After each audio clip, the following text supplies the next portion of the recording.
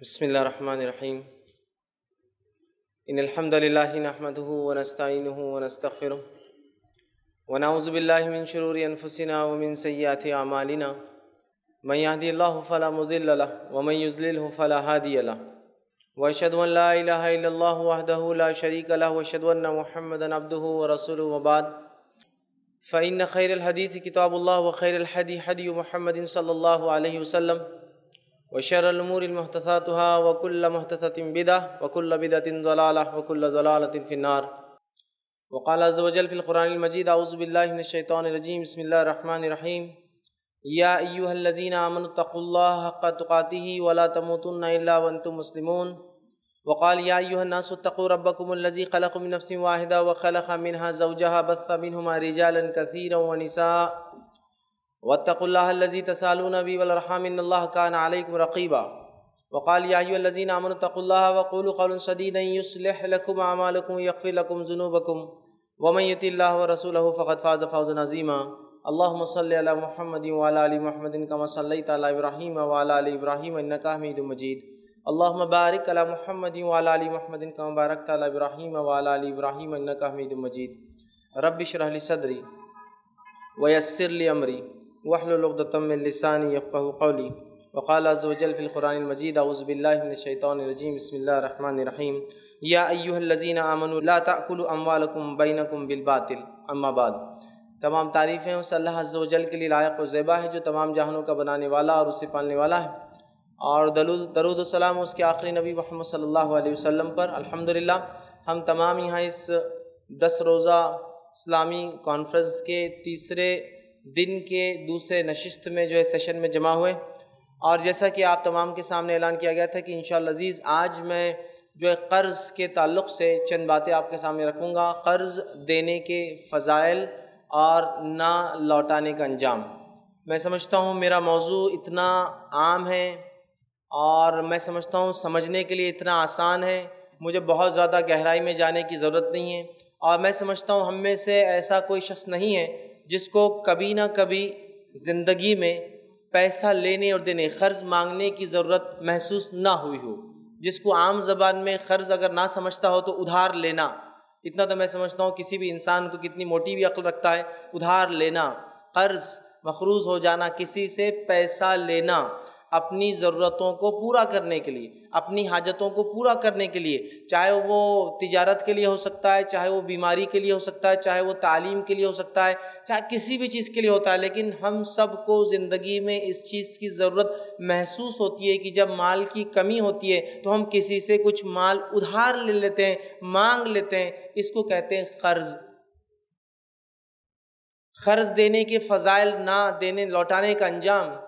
تو جب میں نے یہ عنوان کو طے کرنے کا ارادہ کیا کہ قرض کے اوپر ہم ایک عنوان رکھیں گے، قرض کے فضائل، یہ بات آئی کہ قرض کے فضائل پہ آپ کچھ کہیے، تو میں نے کہا میں قرض کے فضائل پر تو نہیں کہوں گا، قرض کے فضائل کے ساتھ نہ لوٹانے کا انجام کیا ہوتا ہے اس پہ کہوں گا، انشاءاللہ۔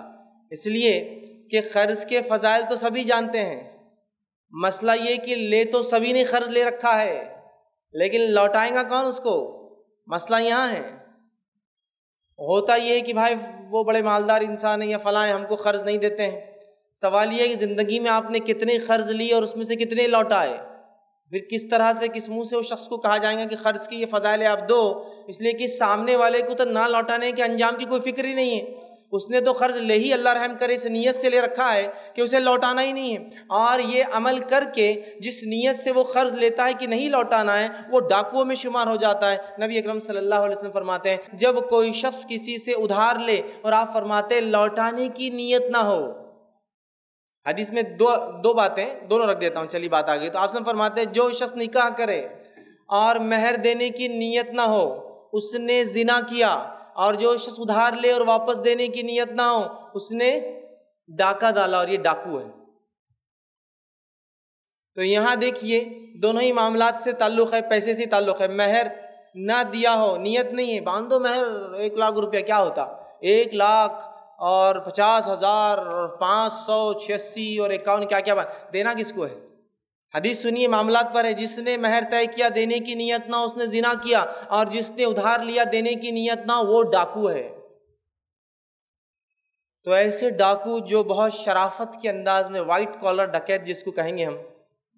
بہت عام چلن ہو چکا ہے۔ میں آپ سے نہیں کہہ رہا ہوں، میں تو اپنے آپ کو ڈال رہا ہوں اس میں بھائی۔ کہ ہم سب کا معاملہ یہ ہو چکا ہے کہ ہم ڈاکو بن چکے ہیں کہ لینے کے حد تک تو سامنے والے کو فضائل پہ فضائل، حدیث میں یہ آتا ہے، قرآن میں یہ آتا ہے، فلاں یہ آتا ہے، قرض دے دو، فلاں ہے مجبوری، مسکینی کی بالکل گائے کی صورت بنا کر انسان سامنے آ جاتا ہے، کسی کے اور بیچارہ سامنے والا کبھی قرض دیتا ہے، بغیر لکھے، بغیر پڑھے کے معاملات ہو گئے، قرض دے دیا گیا اور اگلی بار جب وہ شخص آتا ہے اور کہتا ہے، بھیا وہ، آپ قرض آئے تھے لینے کے لیے بکری اور گائے کی صورت بنا کر، اب معاملہ واپس دینے کا ہے تو وہ شیر کی صورت میں سامنے آتا ہے، دے دیں گے نا؟ بھاگ کے جا رہے کیا؟ دس نسلوں سے ہی گھر ہے میرا۔ کل آ جانا، دے دیں گے۔ انشاءاللہ اگلے مہینے آ جانا۔ اگلے ہفتے بی سی اٹھنے والی اپنی۔ کلیئر آپ کا ہو۔ بھائی صاحب پچھلے دو سال سے بول رہے دو سال سے وہ غلط تھا، وہ دوسرا بھائی لے لے رہا تھا میری بی سی۔ لیکن اب آپ کے لیے یہ بات بھیا وہ ادھار مال بہت ہو گیا، اب آپ کو چکانا ہے۔ اگلے سیزن میں زیادہ ٹائم نہیں لگنے والا ہے۔ ارے، فلاں چیز تھی نا یار ادھر سو روپئے دیتے کیا ادھر؟ دے دوں گا۔ ارے، وہ سو روپئے کا کیا ہوا؟ ارے، کیسے بھکڑ یار، سو روپئے تم مانگ رہے واپس۔ لیکن آپ نے تو ادھار بول کے لیا تھا نا۔ لیا تھا الگ بات ہے، لیکن تم اتنے بڑے آدمی معاف کر دینا چاہیے نا یار، اتنی چھوٹی چھوٹی رقمیں یاد رکھتے۔ ہاں؟ تو انداز یہ ہے کہ جب مانگنے آتا ہے تو بکری اور جو ہے گائے کی شکل میں۔ اور جب ہم جاتے ہیں کہ بھائی بھائی، میرے وہ پیسوں کا کیا ہوا؟ تو پھر شیر کی شکل اور صورت نظر آتی ہے اس کی۔ کہ آپ دیکھ کے ہی مطلب اس کو ہاں ٹھیک ہے، میں بعد میں آ جاتا۔ نکل کر چلے جاتے ہیں۔ پیسہ زندگی کا قائم مقام ہے۔ پیسے کے بغیر زندگی کا تصور نہیں ہوتا ہے، تو یہ زندگی کا قائم مقام ہے۔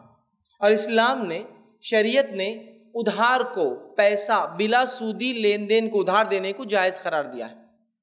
مطلب قرض مانگنا اور قرض دینا دونوں جائز ہے۔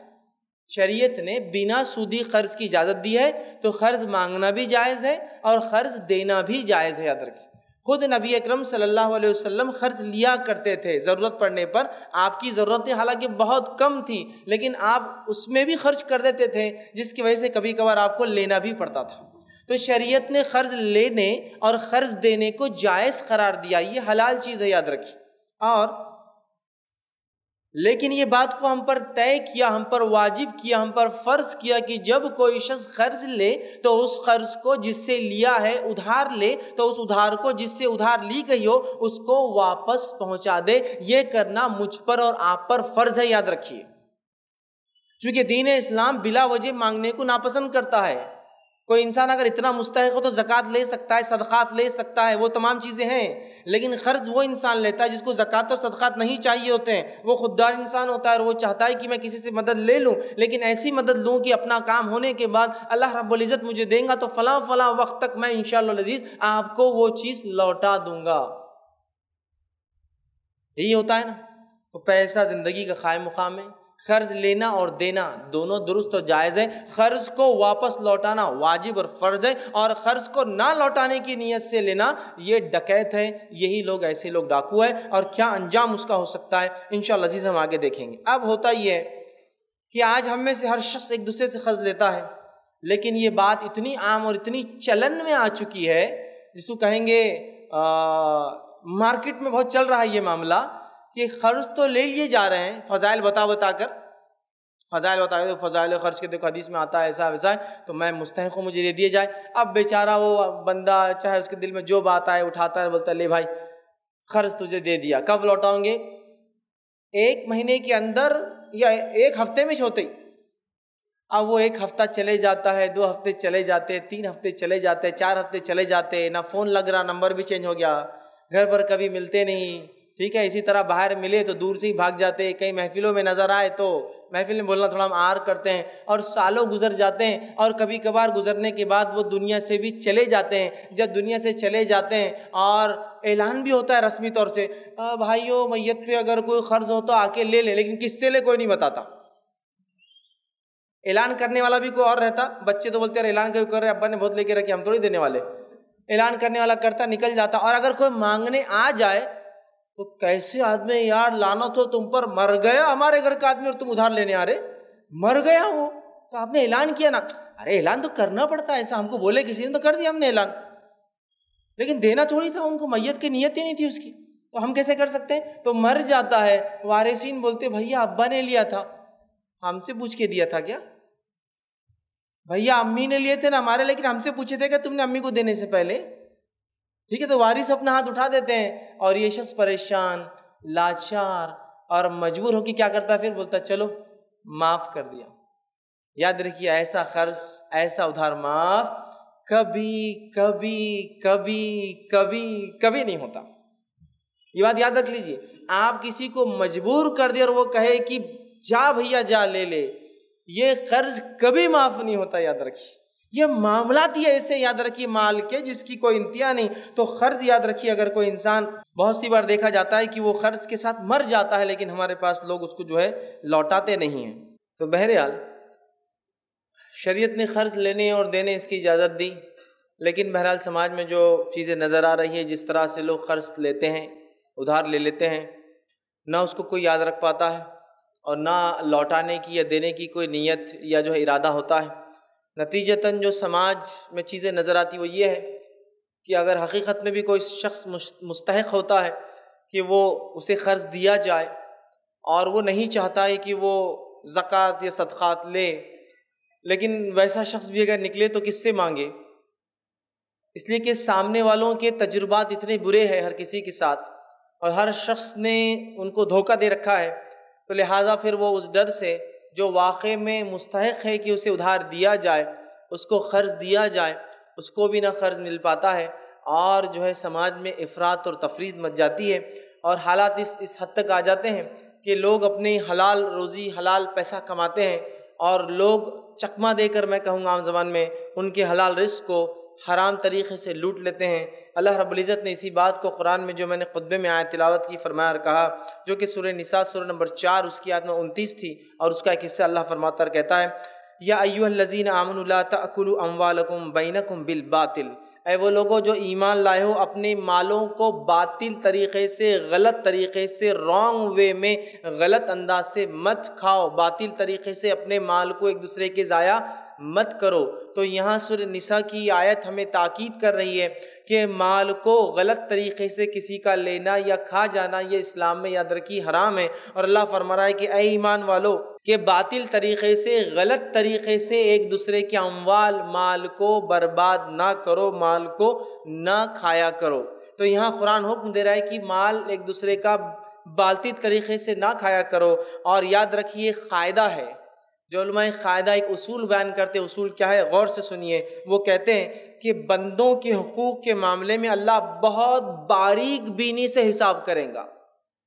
بندوں کے حقوق کے معاملے میں اللہ روز قیمت بہت باریک بینی سے حساب کریں گا۔ اور آگے وہ لکھتے ہیں اس اس قاعدے کو اور اس اصول کو۔ اور اللہ اپنے حقوق کے معاملے میں انشاءاللہ آسانی برتیں گا۔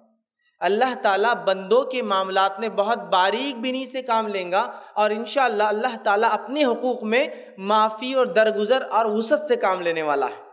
سمجھ رہا ہے بات کو؟ لیکن بندوں کے معاملے میں اللہ تعالیٰ وسعت سے کام نہیں لیں گا۔ صحیح مسلم کی اس حدیث کو ذرا یاد کیجیے۔ آپ صلی اللہ علیہ وسلم فرماتے ہیں، ایک شخص اپنے نمازوں، عقیدہ، روزے، زکوٰۃ و صدقات کی وجہ سے حالات یہ ہوں گے اس کے کہ جنت کی طرف جا رہا ہوں گا، لیکن مجمع میں سے مطلب اللہ اپنا حساب کر چکا ہوں گا۔ مجمع میں سے ایک شخص آواز دیں گا جن کا، جو کھڑا ہوں گا، کہ اللہ مجھے گالی دی تھی۔ تو اللہ کہیں گا ٹھیک ہے فرشتوں سے، اس کے کچھ نہیں کیا، لے کر وہ جس کو گالی دی تھی نا، حساب کتاب کر دو۔ دوسرا کہیں گے اللہ مجھ پر الزام لگایا تھا۔ اللہ تعالیٰ فرشتوں سے کہیں گا کہ فرشتوں وہ الزام کے بدلے میں جو بھی طے ہوں گا نیکیاں ٹرانسفر کر دو نیکیاں ٹرانسفر ہو جائیں گی۔ پھر انسان، لوگ باقی کہیں گے، اللہ میرا مال کھایا تھا۔ اللہ کہیں گا، ٹھیک ہے، کیا مال تھا؟ ایک نیکی یا ایک روپئے کے بدلے کیا نیکیاں ٹرانسفر ہوں گی، وہ کروا دیں گا۔ تھوڑی دیر بعد فرشتے کہیں گے، اللہ اس کی نیکیاں ایگزاسٹ ختم ہو گئی، کیا کریں؟ اور ابھی لینے والے کھڑے ہیں، انسان ابھی آوازیں ہی دے رہے ہیں۔ مطلب اللہ نے اپنے معاملے وسعت لے لی تھی مطلب وسعت سے کام لیا تھا، اس کو جو ہے وہ جنت کی طرف جا رہا تھا، اس کے اللہ کے معاملات کی وجہ سے مطلب وہ اللہ اللہ کے حق کی وجہ سے جو پورے کیے تھے، وہ جنت کی طرف جا رہا تھا۔ لیکن بندوں کے حق چونکہ پورے نہیں کیے تھے، بندے آواز دیں گے، فرشتے کہیں گے، اللہ اس کے نام اعمال میں نیکیاں ختم ہو گئی۔ اب ہم کیا کریں؟ اللہ تعالیٰ فرمائیں گا ٹھیک ہے، اگر نیکیاں ختم ہو گئی، لینے والے اگر ابھی بھی کھڑے ہیں، تو پھر لینے والوں کے گناہ اس کے سر پہ ڈال دو۔ اور پھر لوگ آتے جائیں گے اور ان کے گناہ اس کے سر پہ ڈالے جائیں گے۔ نیکیاں تو پہلے ہی ختم ہو چکی ہوں گی اور اسے منہ کے بل گھسیٹ کے جہنم میں پھینک دیا جائے گا۔ اسی لیے علماء وہ قاعدہ لکھتے ہیں کہ اللہ تعالیٰ بندوں کے معاملے بہت باریک بینی سے کام لینے والا ہے۔ ہاں اپنے معاملے میں انشاءاللہ وسعت۔ ٹھیک ہے ٹھیک ہے، چلو کر دو۔ جیسا کہ جامع ترمیزی کی روایت میں نمازیں سب سے پہلے حساب ہوں گا نماز کا۔ جب نمازیں تولی جائیں گی تو فرشتے گے، اللہ، فرائض میں کمی ہے۔ کیا کریں؟ اللہ باریک بھی نہیں کریں گے اپنے معاملے میں انشاءاللہ۔ لیکن ہرگز اس کا غلط معنی مت دیجیے کہ آپ نمازیں چھوڑیے۔ تو اللہ کہیں گا اچھا ٹھیک ہے، اگر فرض کم ہے تو دیکھو کچھ اس کی دوسری نماز سنت وغیرہ ہے کہ ذرا ڈھونڈو۔ وہ کہیں گے، اللہ ہے، تو اللہ کہیں گے، ٹھیک ہے، اس کے فرائض کی کوتاہیوں کو اس کے نوافل سے پورا کر دو۔ سبحان اللہ، تو اللہ وسعت سے کام لیں گا انشاءاللہ۔ لیکن بندوں کے معاملے میں باریک بینی سے کام لیں گا۔ اور اللہ کی یہ انصاف والی صفت کو یوں اظہار کیا گیا صحیح مسلم کی روایت میں، روز قیامت اللہ تعالیٰ بکریوں کو اٹھائیں گا دو، جس میں سے ایک سینگ والی ہوں گی، ایک بغیر سینگ کی ہوں گی، اور دنیا میں سینگ والی بکری نے بغیر سینگ والی کو ڈھسنی دی ہوں گی، مارا ہوں گا، تو اللہ بغیر سینگ والی کو سینگ دیں گا، وہ اس کو ماریں گی اور دونوں کو پھر مٹی بنا دیں گا۔ تو اللہ کا انصاف دیکھیے، جانوروں کو برابر کر دیں گا اللہ تعالیٰ۔ حالانکہ ان کو جنت جانم نہیں ہے، جانور مٹی بن جائیں گے۔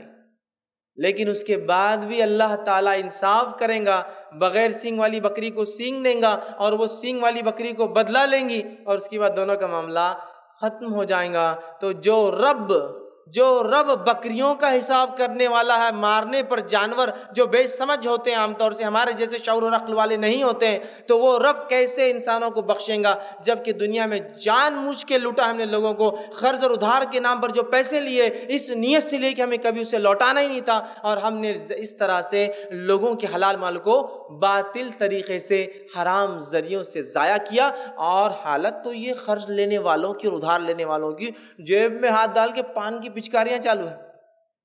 قرضہ بڑا بھیا، وہ پان کی قیمت اگر روز جمع کر لیں، دس بیس روپئے تو میرا قرض ہزار، دو ہزار نکل جائے گا۔ ارے، اتنے چھوٹے قرض تو یوں نکال دیتا۔ ابھی ایک آدھ مل جاتا تو اس سے تے کو لے کے دے دیتا۔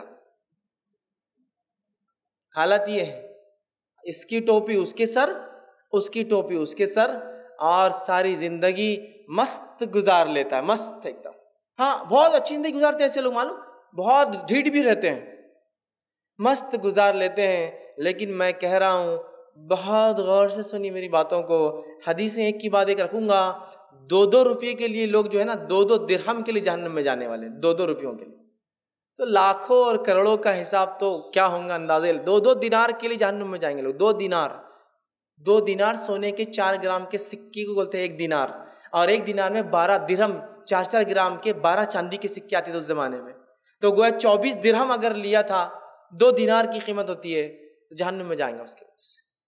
قرض اللہ بہت باریک بینی سے حساب لیں گا۔ اور اس بات کو بھی یاد رکھ لیجیے، بندہ روز قیامت معاف نہیں کریں گا آپ کو۔ اس لیے کہ وہ تو وہ دن ہوں گا۔ محشر پہ میرا لیکچر آ رہا ہے۔ وہ دن ہوں گا جس دن خود اولاد کہیں گے، اللہ میرے ماں باپ کو اٹھا کے جہنم میں ڈال دو۔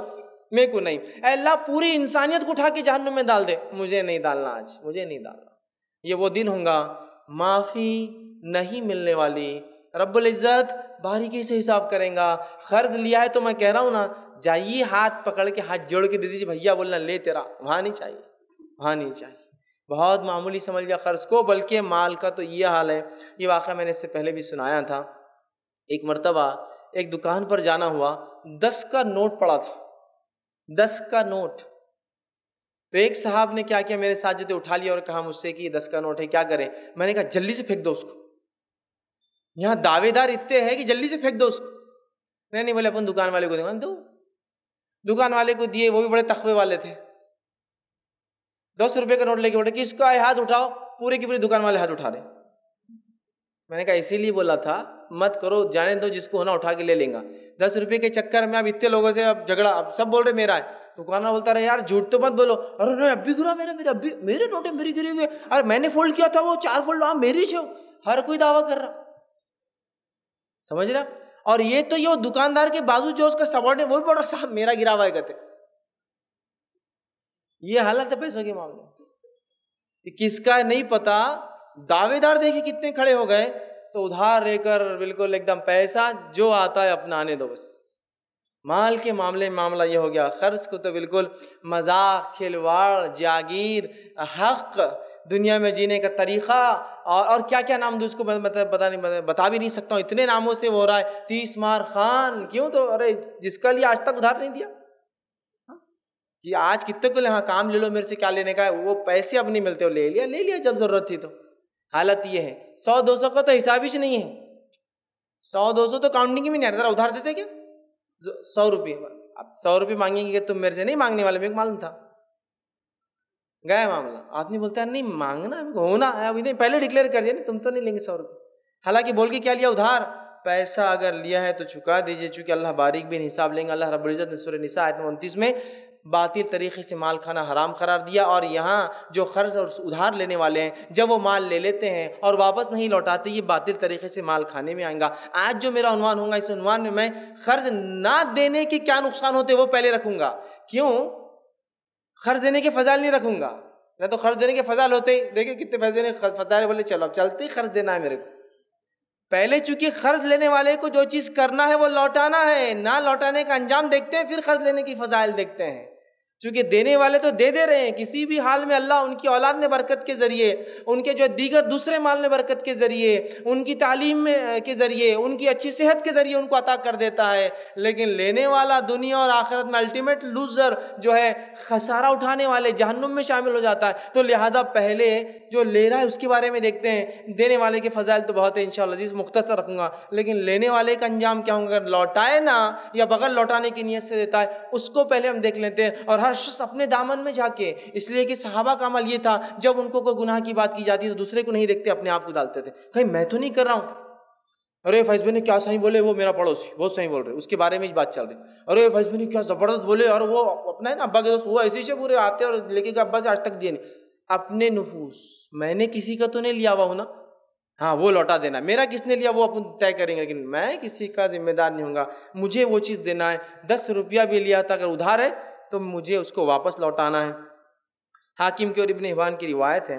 نبی اکرم صلی اللہ علیہ وسلم فرماتے اور کہتے ہیں، کسی مسلمان کا مال کسی دوسرے کے لیے اس کی دلی رضا اور خوشی کے بغیر حلال نہیں ہوتا۔ کسی مومن کا مسلمان کا دوسرے مسلمان کے لیے مال لینا بغیر دلی رضا کے وہ مال لینا حلال نہیں ہوتا۔ مطلب یہ ہوا کہ اگر آپ کسی کو کہہ رہے مجھے قرض دیجیے قرض دیجیے، تو اس کو وہ قرض لوٹانا پڑے گا، اس لیے کہ اس نے آپ کو وہ ادھار دیا، قرض دیا ہے۔ تعاون، صدقہ، خیرات نہیں کیا ہے۔ تو لہٰذا چونکہ اس کی رضا واپس لینے میں دیا ہے، اس نیت سے کہ واپس لیں گا آپ سے۔ تو لہٰذا آپ سے فرماتے ہیں، کسی مسلمان کے لیے جائز نہیں کہ دوسرے بھائی کا مال بغیر رضا کے لیے قرض دینے والا واپس واپسی کی نیت سے دیتا ہے، لہٰذا کوئی اس کو رکھ لے، یہ بھی اس کے اندر ظلم میں آ جاتا ہے۔ تو یہ کسی کے لیے جائز نہیں ہے، حلال نہیں ہے۔ مطلب دوسرے زبان میں یہ حرام ہے کہ آپ کسی کے رضا کے بغیر اس کے مال کو لے یا اس کے ساتھ چھیڑخانی کرے یا اس کو ضائع کرے۔ اسی طرح صحیح بخاری اور مسلم کی متفقہ علیہ روایت ہے۔ نبی اکرم صلی اللہ علیہ وسلم فرماتے اور کہتے ہیں، تمہارا خون، اور آپ نے حجت الوداع کے ایک خطبے میں جو کہ نو ذی الحجہ کو آپ نے دیا تھا، اس میں آپ نے یہ بات بیان کی۔ کیا حدیث کا الفاظ سنیے؟ تمہارا خون، تمہارا مال، اور فرمایا تمہاری آبرو، عزت، تمہارا خون، تمہارا مال، تمہاری آبرو اور عزت ایک دوسرے کے لیے اس کی حرمت، محترم، حرمت ویسی ہے، ویسے ہی حرام ہے، حرمت والا ہے، محترم ہے، مقدس ہے۔ کیسے؟ جس طرح سے یہ دن، نو ذی الحجہ کا دن کتنا مقدس ہوتا ہے۔ یہ دن حاجی جمع ہوتے ہیں وہاں، عرفہ قسم کا محشر جیسی حالت ہوتی ہے، لوگ جمع ہیں، ہے نا؟ تو یہ دن جس طرح سے مقدس ہے، پھر فرمایا یہ مہینہ جس طرح سے مقدس ہے ذی الحجہ کا مہینہ، حرمت والا مہینہ ہے، پھر فرمایا یہ شہر جس طرح سے مقدس ہے، اور مکہ شہر اتنا مقدس ہے، آپ کو پتہ ہے کہ مکہ شہر میں اس کی حرم کی حدود میں گناہ سوچنا بھی گناہ لکھ دیا جاتا ہے، دیگر جگہ سوچنے پہ لکھا نہیں جگہ جاتا ہے۔ حرم، مکہ حرم ہے، اتنا محترم ہے کہ سنس، گناہ، سوچنا بھی نہیں ہے وہاں۔ دیگر جگہوں پہ سوچنے پہ گناہ نہیں لکھا جاتا۔ کر دے تو لکھا جاتا ہے، یہاں سوچنے پہ لکھا جاتا ہے۔ تو کہا یہ دن، یہ شہر اس بستی کی جو حرمت ہے اور اس مہینے کی وہ ایسے ہی تم لوگوں کے لیے تمہارا خون کہ کوئی نہ بہائے بغیر کسی وجہ کے۔ تمہارا مال ضائع نہ کرے لے کر کسی سے۔ اور تمہاری عزت، کسی کی عزت نہ اتار دے۔ ارے، وہ تو ایسا وہ تو جھوٹا تو نہ اس لیے کہ یہ حرام ہے، اس دن کے جیسا، اس شہر کے جیسا، اس مہینے کے جیسا۔ تو اتنی مقدس ہے ہمارا مال ایک دوسرے کے لیے کہ ہم اس کو حرام طریقے سے ضائع نہیں کر سکتے۔ اسی طرح جو ہے، نبی اکرم صلی اللہ علیہ وسلم فرماتے ہیں، مسند احمد کی ابوداود کی اور جامع ترمیزی میں یہ روایت آپ آپ نے فرمایا اور کہا، وہ چیز ہاتھ کے ہاتھ کے ذمے ہے جو اس نے پکڑی ہے، جب تک آپ فرماتے ہیں کہ وہ اسے واپس نہ لوٹا دے۔ وہ چیز ہاتھ کے ذمے ہیں جو اس نے پکڑی ہے، جب تک اس کے ذمے ہیں، جب تک لوٹا نہ دے، میں آپ کے پاس آیا اور کہا مجھے ادھار دیجیے، قرض دیجیے، آپ نے دیا تو میرے ہاتھ میں پکڑ لیا، میرے ہاتھ کا ذمہ ہو گیا یہ۔ تو میرے ہاتھ میں جو رقم ذمہ ہے، آپ فرماتے ہیں، جو چیز ہاتھ نے لی ہے، وہ ذمہ ہے، کب تک ذمہ داری ہے؟ جب تک کہ جس سے لیا اس کو واپس نہ لے جا کر دیتے ہیں۔ رقم لیتے ہیں، آپ ذمہ داری ہے کب تک؟ واپس لوٹانے تک۔ یہ ذمہ داری آپ سے فرماتے ہیں اور یہ ذمہ داری کا احساس دلایا جا رہا ہے اس شخص کو جو قرض لیتا ہے تو میرے بھائیوں قرض بلا وجہ تو لے کچھ لوگ تو لائف اسٹائل مینٹین کرنے میں قرض لیتے نہیں۔ قرض تو صرف ضروریات کے لیے لیجیے۔ اب قرض جب لیتے ہیں۔ قرض جب انسان لیتا ہے صرف ضروریات کے لیے لیجیے جو مجبوریاں ہیں آپ کی۔ قرض ایسی چیز نہیں ہے کہ آپ لے لیں، اس لیے کہ قرض کو بہت اچھا نہیں مانا گیا ہے۔ اس لیے کہ انسان کوشش کرے کہ زیادہ سے زیادہ کی وہ جو آتا ہے وہ کرے اور قرض سے بچتا رہے۔ اس لیے کہ قرض میں اگر ڈوبیں گا تو دے نہیں پائیں گا۔ یاد رکھیے، مشکل ہوتی ہے کبھی کبھار۔ اور ابو داود اور جامع ترمیزی کی ایک روایت ہے، آپ سے فرماتے اور کہتے ہیں، جس نے آپ کے پاس کوئی چیز امانت کے طور پر رکھی، کسی نے تمہارے پاس کوئی چیز امانت کے طور پر رکھی، امانت کے طور پر رکھی، اس کی امانت اسے واپس لوٹا دو۔ اور جس نے تمہارے ساتھ خیانت کی ہے، تم اس کے ساتھ خیانت نہ کرو۔ اگر تم کسی سے کچھ لیتے ہو تو واپس دے دو، لیکن اگر وہ خائن ہے وہ واپس نہیں کرتا ہے، وہ خیانت کرتا ہے، وہ دھوکہ دیتا ہے، تو اے مسلمانوں، تم ویسے مت بنو۔ جیسے کہ ساتھ ویسا، جیسے کو تیسا بولتے نا، ویسا مت کرو، جانے دو چھوڑ تو خیانت مت کرو، دھوکے بازی مت کرو، چیز لیتے ہو تو لوٹاؤ، ہاتھ کا وہ ذمہ ہے۔ کتنی ساری باتیں بتائی جا رہی ہے اور حقوق العباد کی کتنی اہمیت ہے۔ اور خاص طور سے قرض لین دین کے تعلق سے تو اسلام نے اتنی تاکید کی کہ قرآن کی جو سب سے بڑی آیت ہے، قرآن کی جو سب سے بڑی آیت ہے، اس آیت کو ذرا اٹھا کے پڑھ لیجیے، وہ قرض کے اوپر ہے۔ توحید پر نہیں ہے، نماز پہ نہیں ہے، روزے پر نہیں ہے، زکوٰۃ پہ نہیں ہے، اتباع رسول پر نہیں ہے، وہ قرض پر ہے۔ قرآن کی سب سے بڑی آیت ہمارے پاس جو انڈین مصحف ہوتی ہے، اس میں ایک صفحے سے زیادہ کی آیت ہوتی ہے۔ صرف قرض پر ہے کہ لینے والا کیسا لے، دینے والا کیسا دے، لکھنے والا کیسا لکھے، کیا انجام ہو، واپس کیسے لوٹایا جائے، موت آ جائے تو کیا کیا جائے، اس وقت کیسے؟ تمام چیزیں کہ مرنے والے کو بھی حکم ہے کہ تم مر رہے ہو تو فوراً وصیت کر دو، اتنا مال باقی ہے، اس کو دینا ہے، میرے مرنے کے بعد دے دینا، اس کو پہنچا دینا۔ اتنی اہمیت ہے قرض کی۔ اتنی اہمیت ہے۔ تو سب سے بڑی آیت قرآن کی آپ جا کر پڑھیے، وہ نماز روزہ توحید پر بھی نہیں ہے، وہ ہے قرض پر، لین دین پر، معاملات پر۔ اور عام زبان میں کہوں تو فائنینشیل ٹرانزیکشن پر وہ آیت ہے، وہ ہے پیسے کے لین دین پر۔ تو کتنی اہمیت ہے کہ اللہ رب العزت سب سے بڑی آیت نازل کر رہا ہے قرض کے مطلب لین دین کے اوپر تو لینا اور دینا۔ جب لیتے ہیں تو واپس چکانا، کتنا ہے میں سمجھتا ہوں، زیادہ اس میں تفصیلات میں جانے کی ضرورت نہیں ہے۔ تو یہ بہت اہم ہے اور ان معاملات کو نپٹا دیجیے اپنی زندگی میں، نپٹا دیجیے نپٹا دیجیے اور ایسا لگتا ہے کہ موت قریب ہے، نہیں نپٹا سکتا ہوں۔ تو ضرور وصیت کر جائیے میرے بیٹوں، میرے بچوں، میرے جانے کے بعد فلاں فلاں صاحب سے میں نے یہ یہ یہ لے رکھا ہے۔ میرے جانے کے بعد تم وارث ہو، میری وراثت میں سے پہلے اس چیز کو بیچنا، بیچنے کے بعد ان کا ان کا اور ان کا خرچ چکانا، اس کے چکانے کے بعد اس مال کی تقسیم کرنا کہیں ایسا نہ ہو میں چلا جاؤں اور تم اس کو نہ کرو۔ وصیت کر کے جانا چاہیے۔ تو آج ہم نے خرچ کو معمولی سمجھ لیا۔ آئیے آگے ہم دیکھتے ہیں۔ سورہ نساء میں اللہ رب العزت فرماتا ہے اور کہتا ہے ان اللہ یامرکم ان تود الامانت الى اہلیہ اللہ تمہیں حکم دیتا ہے، اس بات کا حکم دیتا ہے کہ جس کی امانت ہے اسے واپس لوٹا دیا کرو۔ اور قرض کیا ہوتا ہے؟ امانت کی قسم ہے۔ وہ آپ کو پیسہ دے رہا ہے، اس نیت سے کہ آپ استعمال کر کے لوٹائیں۔ استعمال کر کے لوٹا تو یہ بھی کیا ہوا؟ امانت ہوئی۔ تو اللہ ہمیں حکم دیتا ہے کہ امانتوں کو لوٹا دو، جس کی جو چیز ہے اس تک پہنچا دو۔ کچھ بھی ایسا نہ ہو کہ دوسروں کا اور میرے جیب میں آ جائے، میرے پاس رہ جائے۔ تو اللہ ہمیں اس کو، اس کا حکم دیتا ہے۔ اور خرچدار کے لیے جو ہے، جو باتیں بیان کی ہیں، اس کے تعلق سے اتنی وعیدیں آئی ہیں کہ جو لوگ قرض لیتے ہیں یا معاملات کرتے ہیں، بندوں کے جو حقوق ہوتے ہیں آپس میں اور اس کو نہیں لوٹاتے۔ ایسی شدید وعیدیں بالخصوص، ویسے حقوق العباد، بندوں کے حق پر میرا عنوان نہیں ہے۔ ایک صرف قرض کے تعلق سے، اس لیے میں اسی تفصیلات میں نہیں جا رہا ہوں۔ تو قرض کی ادا نہ کرنے پہ اتنی شدید، سخت وعیدیں آئی ہیں۔ آئیے چند باتیں ہم دیکھتے ہیں۔ صحیح بخاری کی روایت ہے۔ نبی اکرم صلی اللہ علیہ وسلم فرماتے اور کہتے ہیں، غور سے سنیے۔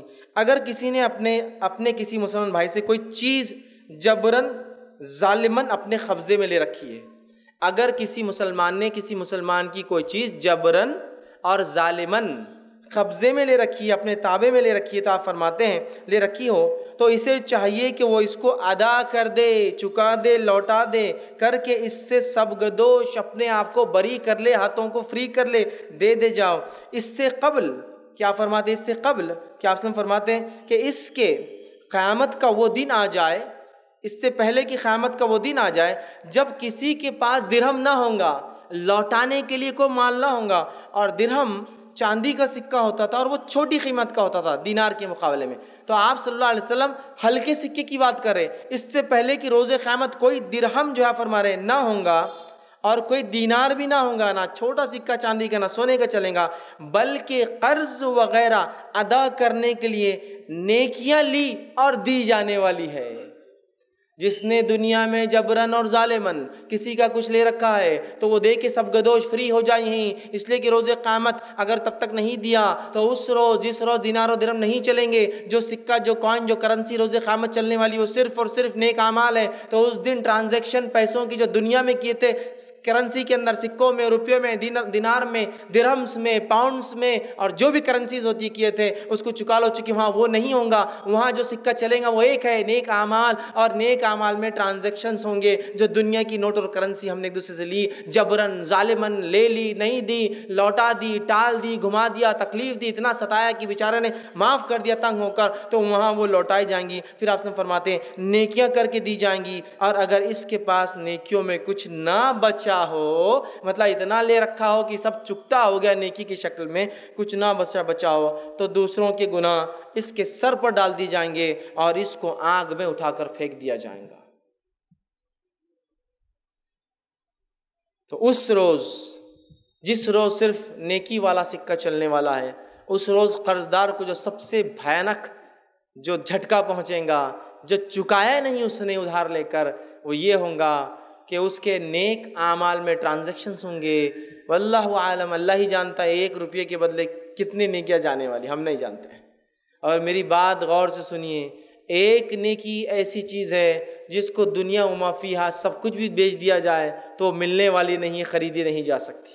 ایک نیکی اتنی قیمتی ہوتی ہے کہ دنیا مافیہ سب کچھ کائنات میں جو بھی ہے، سیل آؤٹ کر دیا جائے تو وہ ایک پرچیسڈ بائے خریدی نہیں جا سکتی۔ تو ہم نہیں جانتے وہ ایک روپے کے بدلے جو ظالمانہ لیا گیا، اللہ تعالیٰ کتنے نیکیوں کو ٹرانزیکٹ کریں گا۔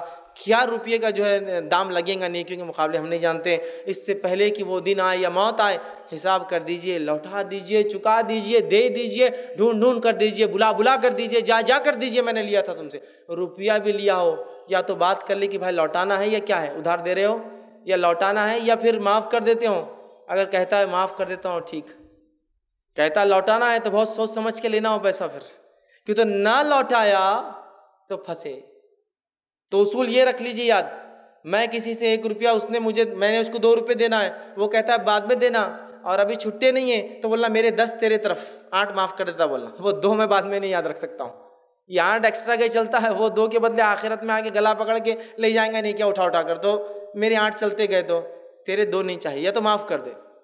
یا تو معاف کر دے مجھے تو کہ تو نے معاف کر دیا دو روپیہ، ورنہ یہ دس میرے رکھ لے، کبھی آئے تو دے دینا، ورنہ معاف تجھ پر۔ مت رکھیے ادھار، دینے والا مزاج بنائیے، لینے کی عادتیں چھوڑ دیجیے یہ۔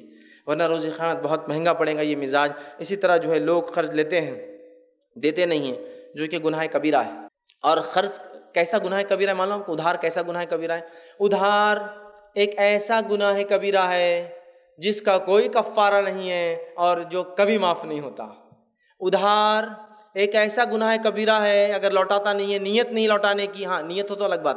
نیت بھی نہیں ہے، لوٹانا بھی نہیں ہے، تو ایسا گناہ کبیرہ ہے جس کا کوئی کفارہ نہیں ہے، کوئی فدیہ نہیں ہے، کوئی بدلہ نہیں ہے، اور جو کبھی کبھی کبھی کبھی معاف نہیں ہوتا۔ بائی ڈیفالٹ اس کی معافی نہیں ہے۔ یاد رکھیے، اس چیز کو ہم سمجھ لیجیے یاد رکھیے۔ اور صحیح مسلم کی روایت ہے، نبی اکرم صلی اللہ علیہ وسلم فرماتے اور کہتے ہیں، اللہ تعالیٰ شہید کے تمام گناہوں کو بخش دیتا ہے، سوائے قرض کے۔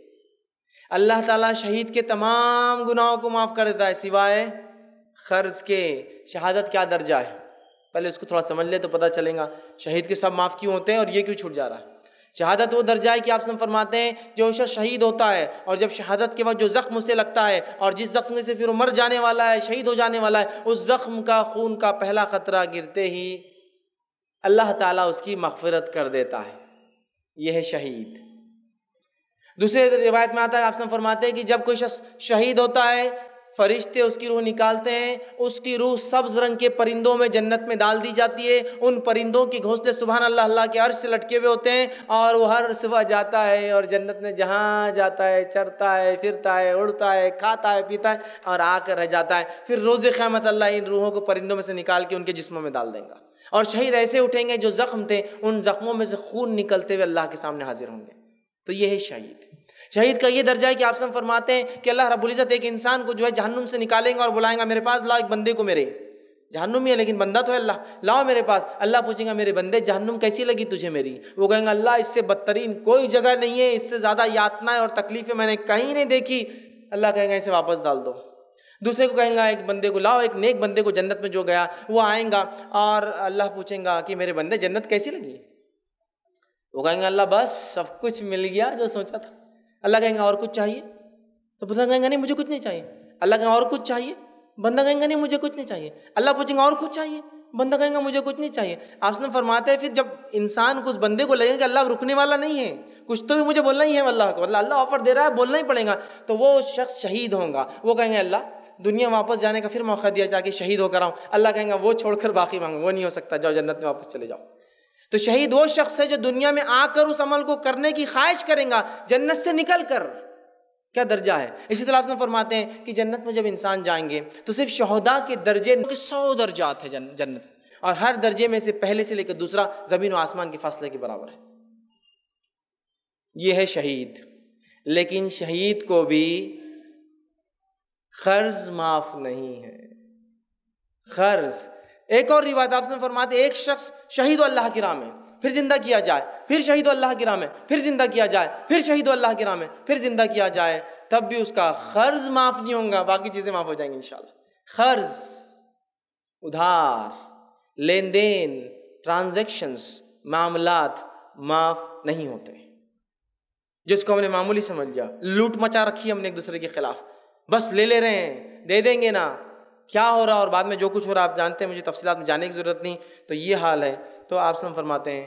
شہید کے اللہ سارے گناہ معاف کر دیتا ہے سوائے خرچ کے۔ آگے آپ نے ایک اور روایت نے فرمایا جو کہ صحیح مسلم کی حدیث ہے، آپ نے فرمایا اور کہا۔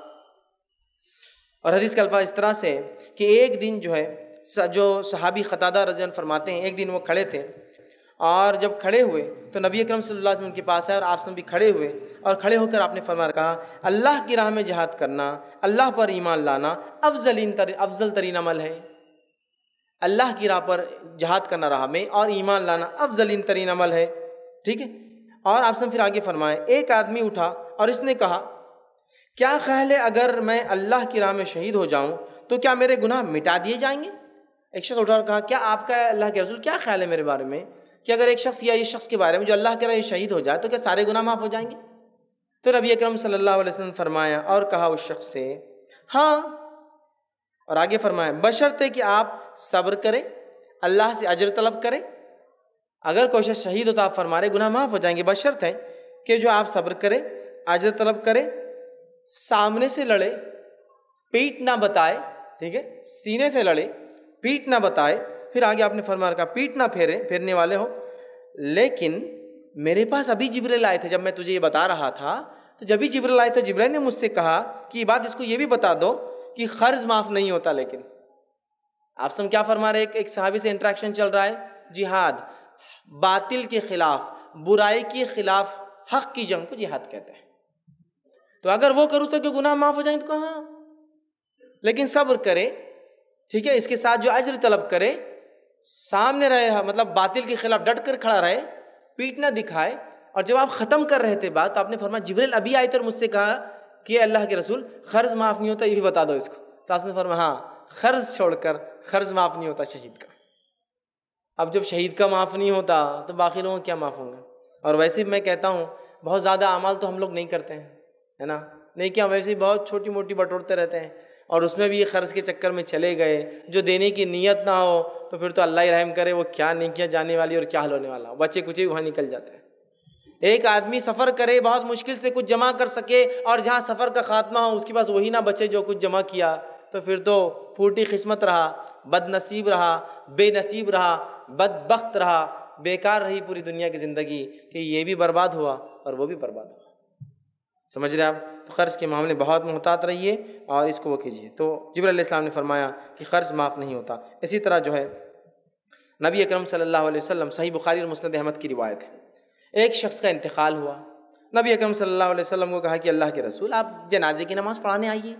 نبی اکرم صلی اللہ علیہ وسلم جو ہے، جنازے کی نماز پڑھانے کے لیے آگے بڑھے۔ آگے بڑھنے کے بعد آپ رک گئے اور کہا، کیا اس پر کوئی قرض تھا؟ اس نے کوئی ادھار لے رکھا تھا؟ سوال کیا۔ تو جو قرض جو ہے ادا کرنا، چونکہ واجب آپ نے فرمایا کہ اس پر کوئی کیا قرض تھا؟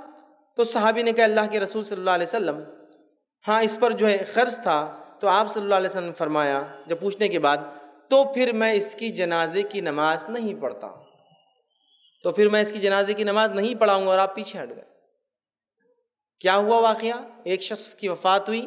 صحابہ نے نہلایا، دھلایا، کفنایا بھی لفظ ہے کہا، اللہ کے رسول، آئیے آپ آگے نماز پڑھائیے۔ نبی اکرم صلی اللہ علیہ وسلم کی عادت تھی کہ آپ جب جاتے، آپ بڑے اور وہ سوال کیا جو آپ کرتے تھے، کیا اس پر کوئی قرض ہے اور حدیث میں الفاظ ہے اعلیٰ ہی دین کیا اس پہ کچھ دینا باقی ہے؟ آپ نے جب یہ سوال کیا تو صحابہ نے کہا کہ ہاں اللہ کے رسول، اس پر کچھ باقی ہے اور کیا باقی ہے معلوم آپ کا حدیث میں الفاظ ہے تو لوگوں نے کہا، اللہ کے رسول، اس پر دو دینار قرض باقی ہے۔ میں نے اس لیے دو کہا تھا ایک جگہ۔ اس پہ دو دینار قرض باقی ہے۔ تو جب نبی اکرم صلی اللہ علیہ وسلم کو یہ پتہ چلا کہ اس پہ دو دینار قرض باقی ہے، تو نبی اکرم صلی اللہ علیہ وسلم نے اس کی جنازے کی نماز پڑھانے سے انکار کر دیا اور آپ جو ہے پیچھے ہٹ گئے۔ اس کے بعد جو ہے راوی کہتے ہیں کہ ایک صحابی آگے بڑھے اور آگے بڑھ کر کہا کہ میں اس کا قرض ادا کر دیتا ہوں۔ پھر آپ سم پھر دوبارہ آئے اور آ کر سوال کیا قرض خواہ کا حق محفوظ ہو گیا کیا نہیں ہوا؟ جس سے اس نے ادھار لیا تھا، اس میت نے، تو کیا اس کا حق پورا ہوا نہیں ہوا؟ مطلب اس کا واپس پیسہ دیا گیا، نہیں دیا گیا؟ اور میت کیا بری اس ذمہ ہوئی نہیں ہوئی؟ کیا میت کا بوجھ اترا نہیں اترا؟ تو صحابہ نے کہا، اللہ کے رسول ہاں۔ اور وہ صحابی کہتے ہیں، اللہ کے رسول، میں نے ذمہ داری لے لی کہ اس کے دو دینار میں چکتا کر دوں گا، میں چکا دوں گا۔ تو آپ صلی اللہ علیہ وسلم کو جب یہ بتایا گیا، تب آپ نے آگے بڑھ کے نماز جنازہ پڑھائی، ورنہ آپ پیچھے ہٹ گئے تھے۔ ورنہ آپ پیچھے ہٹ گئے تھے۔ آئیے دوسری روایت۔ صحیح بخاری کی روایت ہے اور صحیح مسلم میں بھی آتی متفقہ علیہ روایت ہے۔ ابو حریر رضی اللہ فرماتے اور کہتے ہیں، حدیث کے الفاظ اس طرح سے کہ نبی اکرم صلی اللہ علیہ وسلم کے پاس ایک جنازہ لایا گیا میت لائی گئی نماز کے لیے۔ تو آپ صلی اللہ علیہ وسلم نے پوچھا اور کہا حل طرح کا دینی و خزاں کیا اس نے کچھ چھوڑ کر گیا یا اس کا کچھ دینا باقی ہے اور کیا اس پر کوئی قرض ہے؟ تو کیا اس نے کوئی چیز چھوڑی ہے اس قرض کے لیے؟ یہ سوال آپ نے کیا۔ اگر آپ صلی اللہ علیہ وسلم کو یہ بتایا جاتا کہ اس نے قرض نہیں چھوڑا یا نہیں چکایا، تو نبی اکرم صلی اللہ علیہ وسلم وہاں سے پلٹ جاتے اور پلٹ کر یوں کہتے صلی اللہ صاحب کم تم لوگ نماز پڑھ لو، اس کے لیے میں نہیں پڑھتا۔ کوئی شخص اگر لایا جاتا، اس کی وفات ہوتی، آپ سے کہا جنازے کی نماز پڑھائی تو آپ پہلے پوچھتے قرض باقی ہے؟ اور اگر ابھی نہیں چک سکتا تو کیا اتنا چھوڑ کر گیا کہ اس کا قرض ادا ہو سکتا ہے؟ جب صحابہ کہتے ہیں ہاں ہوا ہے تو ٹھیک، اگر نہ کہتے تو کہتے، تم لوگ پڑھ لو جنازے کی نماز اور آپ پیچھے سے نکل کر چلے جاتے تھے۔ اور علماء لکھتے ہیں کہ نبی اکرم صلی اللہ علیہ وسلم کیوں قرض دار کی جنازے کی نماز نہیں پڑھاتے تھے؟ کیوں ادھار لینے والے کی آپ نے، جس نے ادھار لیا اور چکتا نہیں کر کے کیا جنازے میں کیوں پڑھاتے تھے؟ اس کی وجہ سن لیجیے وہ لکھتے اور کہتے ہیں کہ قرضدار کی نماز جو نبی اکرم صلی اللہ علیہ وسلم نہیں پڑھاتے تھے، اس کی وجہ یہ کہ نبی کا کسی کے لیے جنازے کی نماز پڑھنا یہ سفارش اللہ سے کہ اس کو معاف کر دے۔ نبی کا کسی کے لیے جنازے کی نماز پڑھوا دینا یہ سفارش ہے کہ اللہ اسے معاف کر دے۔ پھر وہ آگے لکھتے ہیں، اور اللہ تعالیٰ نبی کی کی گئی سفارش کو کبھی رد نہیں کرتا۔ لہٰذا وہ لکھتے ہیں چونکہ اس شخص نے قرض لے رکھا ہے جو ادا نہیں ہوا، ابھی باقی ہے، لہٰذا وہ کہتے ہیں، آپ صلی اللہ علیہ وسلم نماز نہیں پڑھتے تھے، کیونکہ اللہ کے رسول کی سفارش کے بیچ میں قرض آتا تھا اور قرض کی وجہ سے اللہ کے رسول کی سفارش قبول نہیں کی جا سکتی تھی۔ تو گویا قرض دار جو مخروض ہو اور دینے کی نیت بھی نہ مر جائے، تو نبی کی سفارش بھی اس کو کام نہیں آتی۔ علماء لکھتے ہیں، آپ سے کیوں نماز نہیں پڑھاتے تھے؟ ایک شخص کی جس نے ادھار نہیں واپس لوٹایا، اس لیے کہ نبی کا جنازے کی نماز پڑھنا سفارش ہے قرض روڑا ہے، آڑ ہے سفارش کے بیچ میں، اس لیے نبی کو پتا ہے کہ میری سفارش قبول نہیں ہوں گی تو پڑھ کر کیا فائدہ؟ آپ کہتے تھے صلی اللہ صاحب تمہارے ساتھی پہ تم ہی لوگ نماز پڑھ لو اور چلے جاتے تھے۔ سمجھ رہے ہیں آپ؟ کتنی اہم بات ہے۔ کیا ہمارے سماج میں ایسا ہو رہا ہے؟ کہ کوئی مر گیا تو یہ کہا جا رہا ہے کہ جنازہ جب تک نہیں اٹھیں گا، قرض ادا ہو جائے۔ کیا لوگ آ کے ذمہ داری لے رہے ہیں؟ اس کے وارثین، اس کے رشتے دار کی ہم چکائیں گے؟ کیا ایسا ہو رہا ہے کہ گھر بار اس کا بیچ کر پہلے جو ہے دیا جا رہا ہے جو لوگوں کا ہے، پھر بانٹا جا رہا ہے جو وارثوں کا ہے؟ وارث کا تو حال یہ ابا نے لیے تھے، ہم سے کیا پوچھ نہیں آ رہے؟ کیوں ابا کی جائیداد میں وارث بنوں گے، لیکن اس کے قرض میں نہیں؟ تو یاد رکھیے، اگر والد نے بھی کچھ لیا ہے، تو وارثوں پر وہ قرض ٹرانسفر ہوتا ہے اور وارثوں کو اس کی وراثت میں سے پہلے وہ قرض چکانا پڑے گا۔ تبھی اس کی مغفرت ہوں گے ورنہ وارث بھی گناہ گار بنیں گے۔ اور میت کا، انسان کا کام ہے لوگوں کو وصیت کرتا رہے۔ بچوں اتنا باقی ہے، اتنا باقی ہے، تاکہ مرنے کے بعد بچے چکائے۔ کوئی سسٹم نظر نہیں آتا ہے۔ رسمن طور سے کوئی تو بھی ایک آدمی بولتے بھول بھول تو بول جا کے کھڑے بولتا، میت پہ کچھ باقی ہوں گا تو آ کے لے لے، کس سے لے، کچھ نہیں۔ اور کوئی آ بھی رہا ہے تو بولتے، موت کے بعد تم اب ہمارے غم میں آ کے یہ کر رہے۔ وہ بیچارہ بھی نہیں آ سکتا ہے۔ پریشان گھومتا ہے، کس کو بولوں اب؟ ہر شخص مجھ سے منہ چراتا ہے، اعلان تو کل ہوا۔ لیکن عمل کے لیے نہیں ہوا، اعلان کے لیے ہوا خیر رسمن ہوا۔ سمجھ رہے آپ؟ تو چکا دیجیے وارث سے کام ہے، چکا دینا، ورنہ میت کی مغفرت نہیں ہوگی۔ جب شہید کی نہیں ہو سکتی تو بہرحال اور کسی کی نہیں ہو سکتی ادر اسی طرح جو حدیث میں آتا ہے، صحیح بخاری اور صحیح مسلم کی متفقہ علیہ روایت آپ نے فرمایا اور کہا، مالدار آدمی اگر خرچ نہ لوٹائے تو یہ بہت بری بات ہے۔ مالدار آدمی، اور یہ دیکھا جاتا ہے، میں کسی بھی الزام نہیں لگا رہا ہوں۔ اللہ نے جس کو جتنا دے رکھا ہے، اتنا زیادہ خرچ میں ڈوبا ہوا ہے۔ ایک بلو ایوریج آدمی خرچ بہت لیتا ہے اور ایک ابو ایوریج آدمی خرچ بہت لیتا ہے۔ مڈل کلاس لوگ ہی رہتے جو خرچ سے بچتے رہتے ہیں۔ غریب اس لیے لیتا ہے کہ اس کے پاس کچھ ہوتا نہیں ہے۔ مالدار اس لیے لیتا ہے کہ اس کو کچھ اور کرنا ہے نیا۔ سود سے آنے دو، ادھر سے آنے دو، سب آنے دو بس۔ پھر اس کو کچھ کرنا ہے۔ تو دو لوگ زیادہ لیتے ایک طبقہ جو بہت غریب ہوتا ہے طبقہ جو مالدار۔ مڈل کلاس مینٹین کرتے اپنے آپ کو، نہیں بھائی، نہیں زیادہ لینا، دے دینا، یہ سب غلط ہے، لین دین کا چکر نہیں رکھنا، خرچ تو رکھنا نہیں، بھیا، موت کبھی بھی آ سکتی ہے۔ تو وہ رہتا ہے۔ تو قرض بالکل عام ہے، کوئی ایسی چیز نہیں ہے۔ اور ہم اس کو معمولی سمجھتے ہیں، یاد رکھیے۔ تو مالدار آدمی اگر قرض لیتا نہیں چکاتا ہے، تو آپ کیا فرماتے ہیں حدیث میں؟ سنیے، مالدار آدمی کا پس و پیش کرنا قرض واپس لوٹانے میں یہ ظلم ہے۔ پیسے پھر بھی نہیں دے رہا۔ اس لیے کہ وہ پیسہ لے کے لاکھ پہ پانچ ہزار بنا لیتا نا مہینے میں۔ ہاں، ایک مہینہ بعد آنا، جا۔ اگلے مہینے دے دوں گا۔ ارے یار، تمہارے پاس تو ہے، لاکھوں کا ٹرانزیکشن ہے۔ لاکھوں کا اس لیے تو ہے کہ سب سے ادھار لے کے رکھا ہوں میں نے۔ اور اس پہ تو چل رہی ہے اپنی پوری گاڑی۔ ٹھیک ہے؟ تو دے دیں گے، دے دیں گے۔ پھر اس سے لاکھ لے لی، اس کے دیے تو اس سے لاکھ لے لی، اس کے دیے یہ معاملہ چل رہا ہے۔ تو قرض کو بہت وہ خوش نصیبی سے مدافع آتے ہیں کہ مالدار کا پس و پیش کرنا قرض قرض دینے میں ظلم ہے۔ اگر کسی کو کسی مالدار کے پیچھے لگا دیا جائے کہ اس سے قرض وصول کر کے لاؤ، تو اصل فرماتے ہیں وہ شخص اس کی ذمہ داری لے لے اور اس کے پاس جائے اور اس کے پیچھے لگ جائے کہ قرض واپس دے۔ مطلب مالدار کے پیچھے لگ کر قرض لینا درست ہے۔ ایک اور روایت میں جو ابو داؤد سنن، ابو داؤد اور سنن نسائی کہ آپ نے فرمایا کہ مالدار کا قرض ادا نہ کرنا، اس میں پس و پیش کرنا، پیچھے ہٹنا، اس کی عزت کو حلال کر دیتا ہے۔ مالدار اگر قرض نہ دے تو اس کی عزت حلال ہو جاتی، سامنے والا پھر اتار سکتا ہے۔ عزت کو حلال کر دیتا ہے اور پھر فرمایا، اس کے لیے سزا ہے جو سزا کا جواز بھی پیدا ہو جاتا ہے۔ مالدار انسان اگر قرض نہ لوٹائے تو قاضی کے پاس کیس ڈالا جا سکتا ہے اور اسے لیا غریب آدمی کے تعلق سے اسے مہلت دینا بھی چاہیے چونکہ اس کا ہے نہیں۔ لیکن مالدار دے نہیں رہا تو عزت بھی حلال ہو جاتی ہے اور اس کو سزا بھی دی جا سکتی ہے۔ یاد رکھیے، تو لہٰذا ہم مالدار ہو یا غریب ہو ہم کوشش کریں کہ اپنے جو ہے قرضوں کو ہم جو ہے چکا دیں، ان قرضوں کو اپنے اوپر باقی نہ رکھے یاد رکھے اسی طرح صحیح بخاری کی روایت ہے، آپ نے فرمایا اور کہا، جس نے لوگوں کا مال قرضہ لیا ہو اور نیت ادا کرنے کی ہے تو اللہ تعالیٰ اس کی مدد کرتا ہے۔ اور اگر کوئی کسی کا مال لے اور وہ دینے کی نیت رکھتا ہو، کھا جانے کی نیت رکھتا ہو، تو ایسے شخص کو اللہ تعالیٰ بھی تلف کھا جاتا ہے، ختم کر دیتا ہے، برباد کر دیتا ہے۔ جو شخص کسی کو واپس لوٹانے کی نیت سے لیتا ہے تو اللہ اس کو بھرپور مدد کرتا ہے ہیلپ کرتا ہے، نصرت کی بھائی اس کا کام ہو جائے۔ اور جو شخص اللہ تعالیٰ کو مطلب لوٹانے کی نیت نہیں رکھتا ہے تو اللہ تعالیٰ اس کو برباد کر تلف، اس کا حق مار دیتا ہے اللہ تعالیٰ۔ تو اگر آپ چاہتے ہیں آپ کا حق اللہ مار دے، تو پھر رکھیے تیسمار خان بن کے گھومیے، کھائیے لوگوں کے لاکھوں زمین، جائیداد پراپرٹیاں اور پھر لیجیے آخرت میں نیکیوں کے بدلے جو ہے گناہ ان کے، یا اپنی نیکیوں کا ضائع ہونے کے اپنے آنکھوں سے دیکھیے یا پھر دنیا میں ہاتھ جوڑ جوڑ کر معافی کے ساتھ لے جائیے اور پہنچا دیجیے حالت ہے نہیں ہے یہ۔ ایک بہن دوسری بہن کو بول رہی۔ مطلب ایک عورت دوسری عورت کو۔ وہ ذرا ایسا مسئلہ ہے بچوں کی فیس کا دیتے کہ تم اگلے مہینے ادھار دے دیں گے۔ وہ بیچاری بول رہی ہے تم نے فرسٹ میں داخلے کے لیے لیے تھے، بچہ گریجویٹ ہو گیا، اب تک پیسے نہیں آئے۔ کرانے کی دکان والوں کے ایکسپیرینسز تو ایک سے ایک ہوں گے۔ جو لوگ چلاتے ہوں گے ان کو بتائے کیا حساب کی وہ ورق تو بھر گئے برے۔ پیلے ہو گئے، تیل کے ہاتھ لگ لگ کے بےچارے اس کے پھٹنا شروع ہو گئے۔ کھا کر چلا گیا کہیں واپس بھی نہیں آیا۔ کھاتے جو مینٹین کر دیکھیے آپ نکالیے۔ کیا حال ہے آج ہمارا؟ قوم ڈوبتی جا رہی ہے لانت اور ہلاکت اللہ کی طرف سے آ رہی ہے۔ چونکہ اللہ کیا فرماتے ہیں؟ آپ سے کیا فرما رہے جو لوگوں کے مال کو تلف کرتا ہے، ضائع کرتا ہے، اللہ تعالیٰ بھی اس کو تلف برباد کر دیتا ہے۔ برباد ہو رہے ہیں ہم۔ حساب کتاب میں چھوٹے چھوٹے حساب، بڑے بڑے حساب، لاکھوں لوٹ لیے، کروڑوں لوٹ لیے، زمین لے لی، جائیداد لے لی کرائے کے گھروں پہ قبضہ کر کے بیٹھے ہوئے، دکانوں میں گھس گئے ہنڈے دے کر بولے دیے تھے نا، اور بیٹھ گئے وہاں دکانوں کے اندر۔ تمہاری نہیں ہوتی ہو تمہاری ملکیت نہیں ہے۔ جو اس کا مالک ہے، تم کرایہ دار ہو تو ہزار سال تک بھی کرایہ داری رہوں گے صرف۔ اسلامی شریعت مالک نہیں بناتی آپ کو کرایہ دار کو۔ ہاں دنیا میں تو بن جاؤں گے، ٹھاٹ سے۔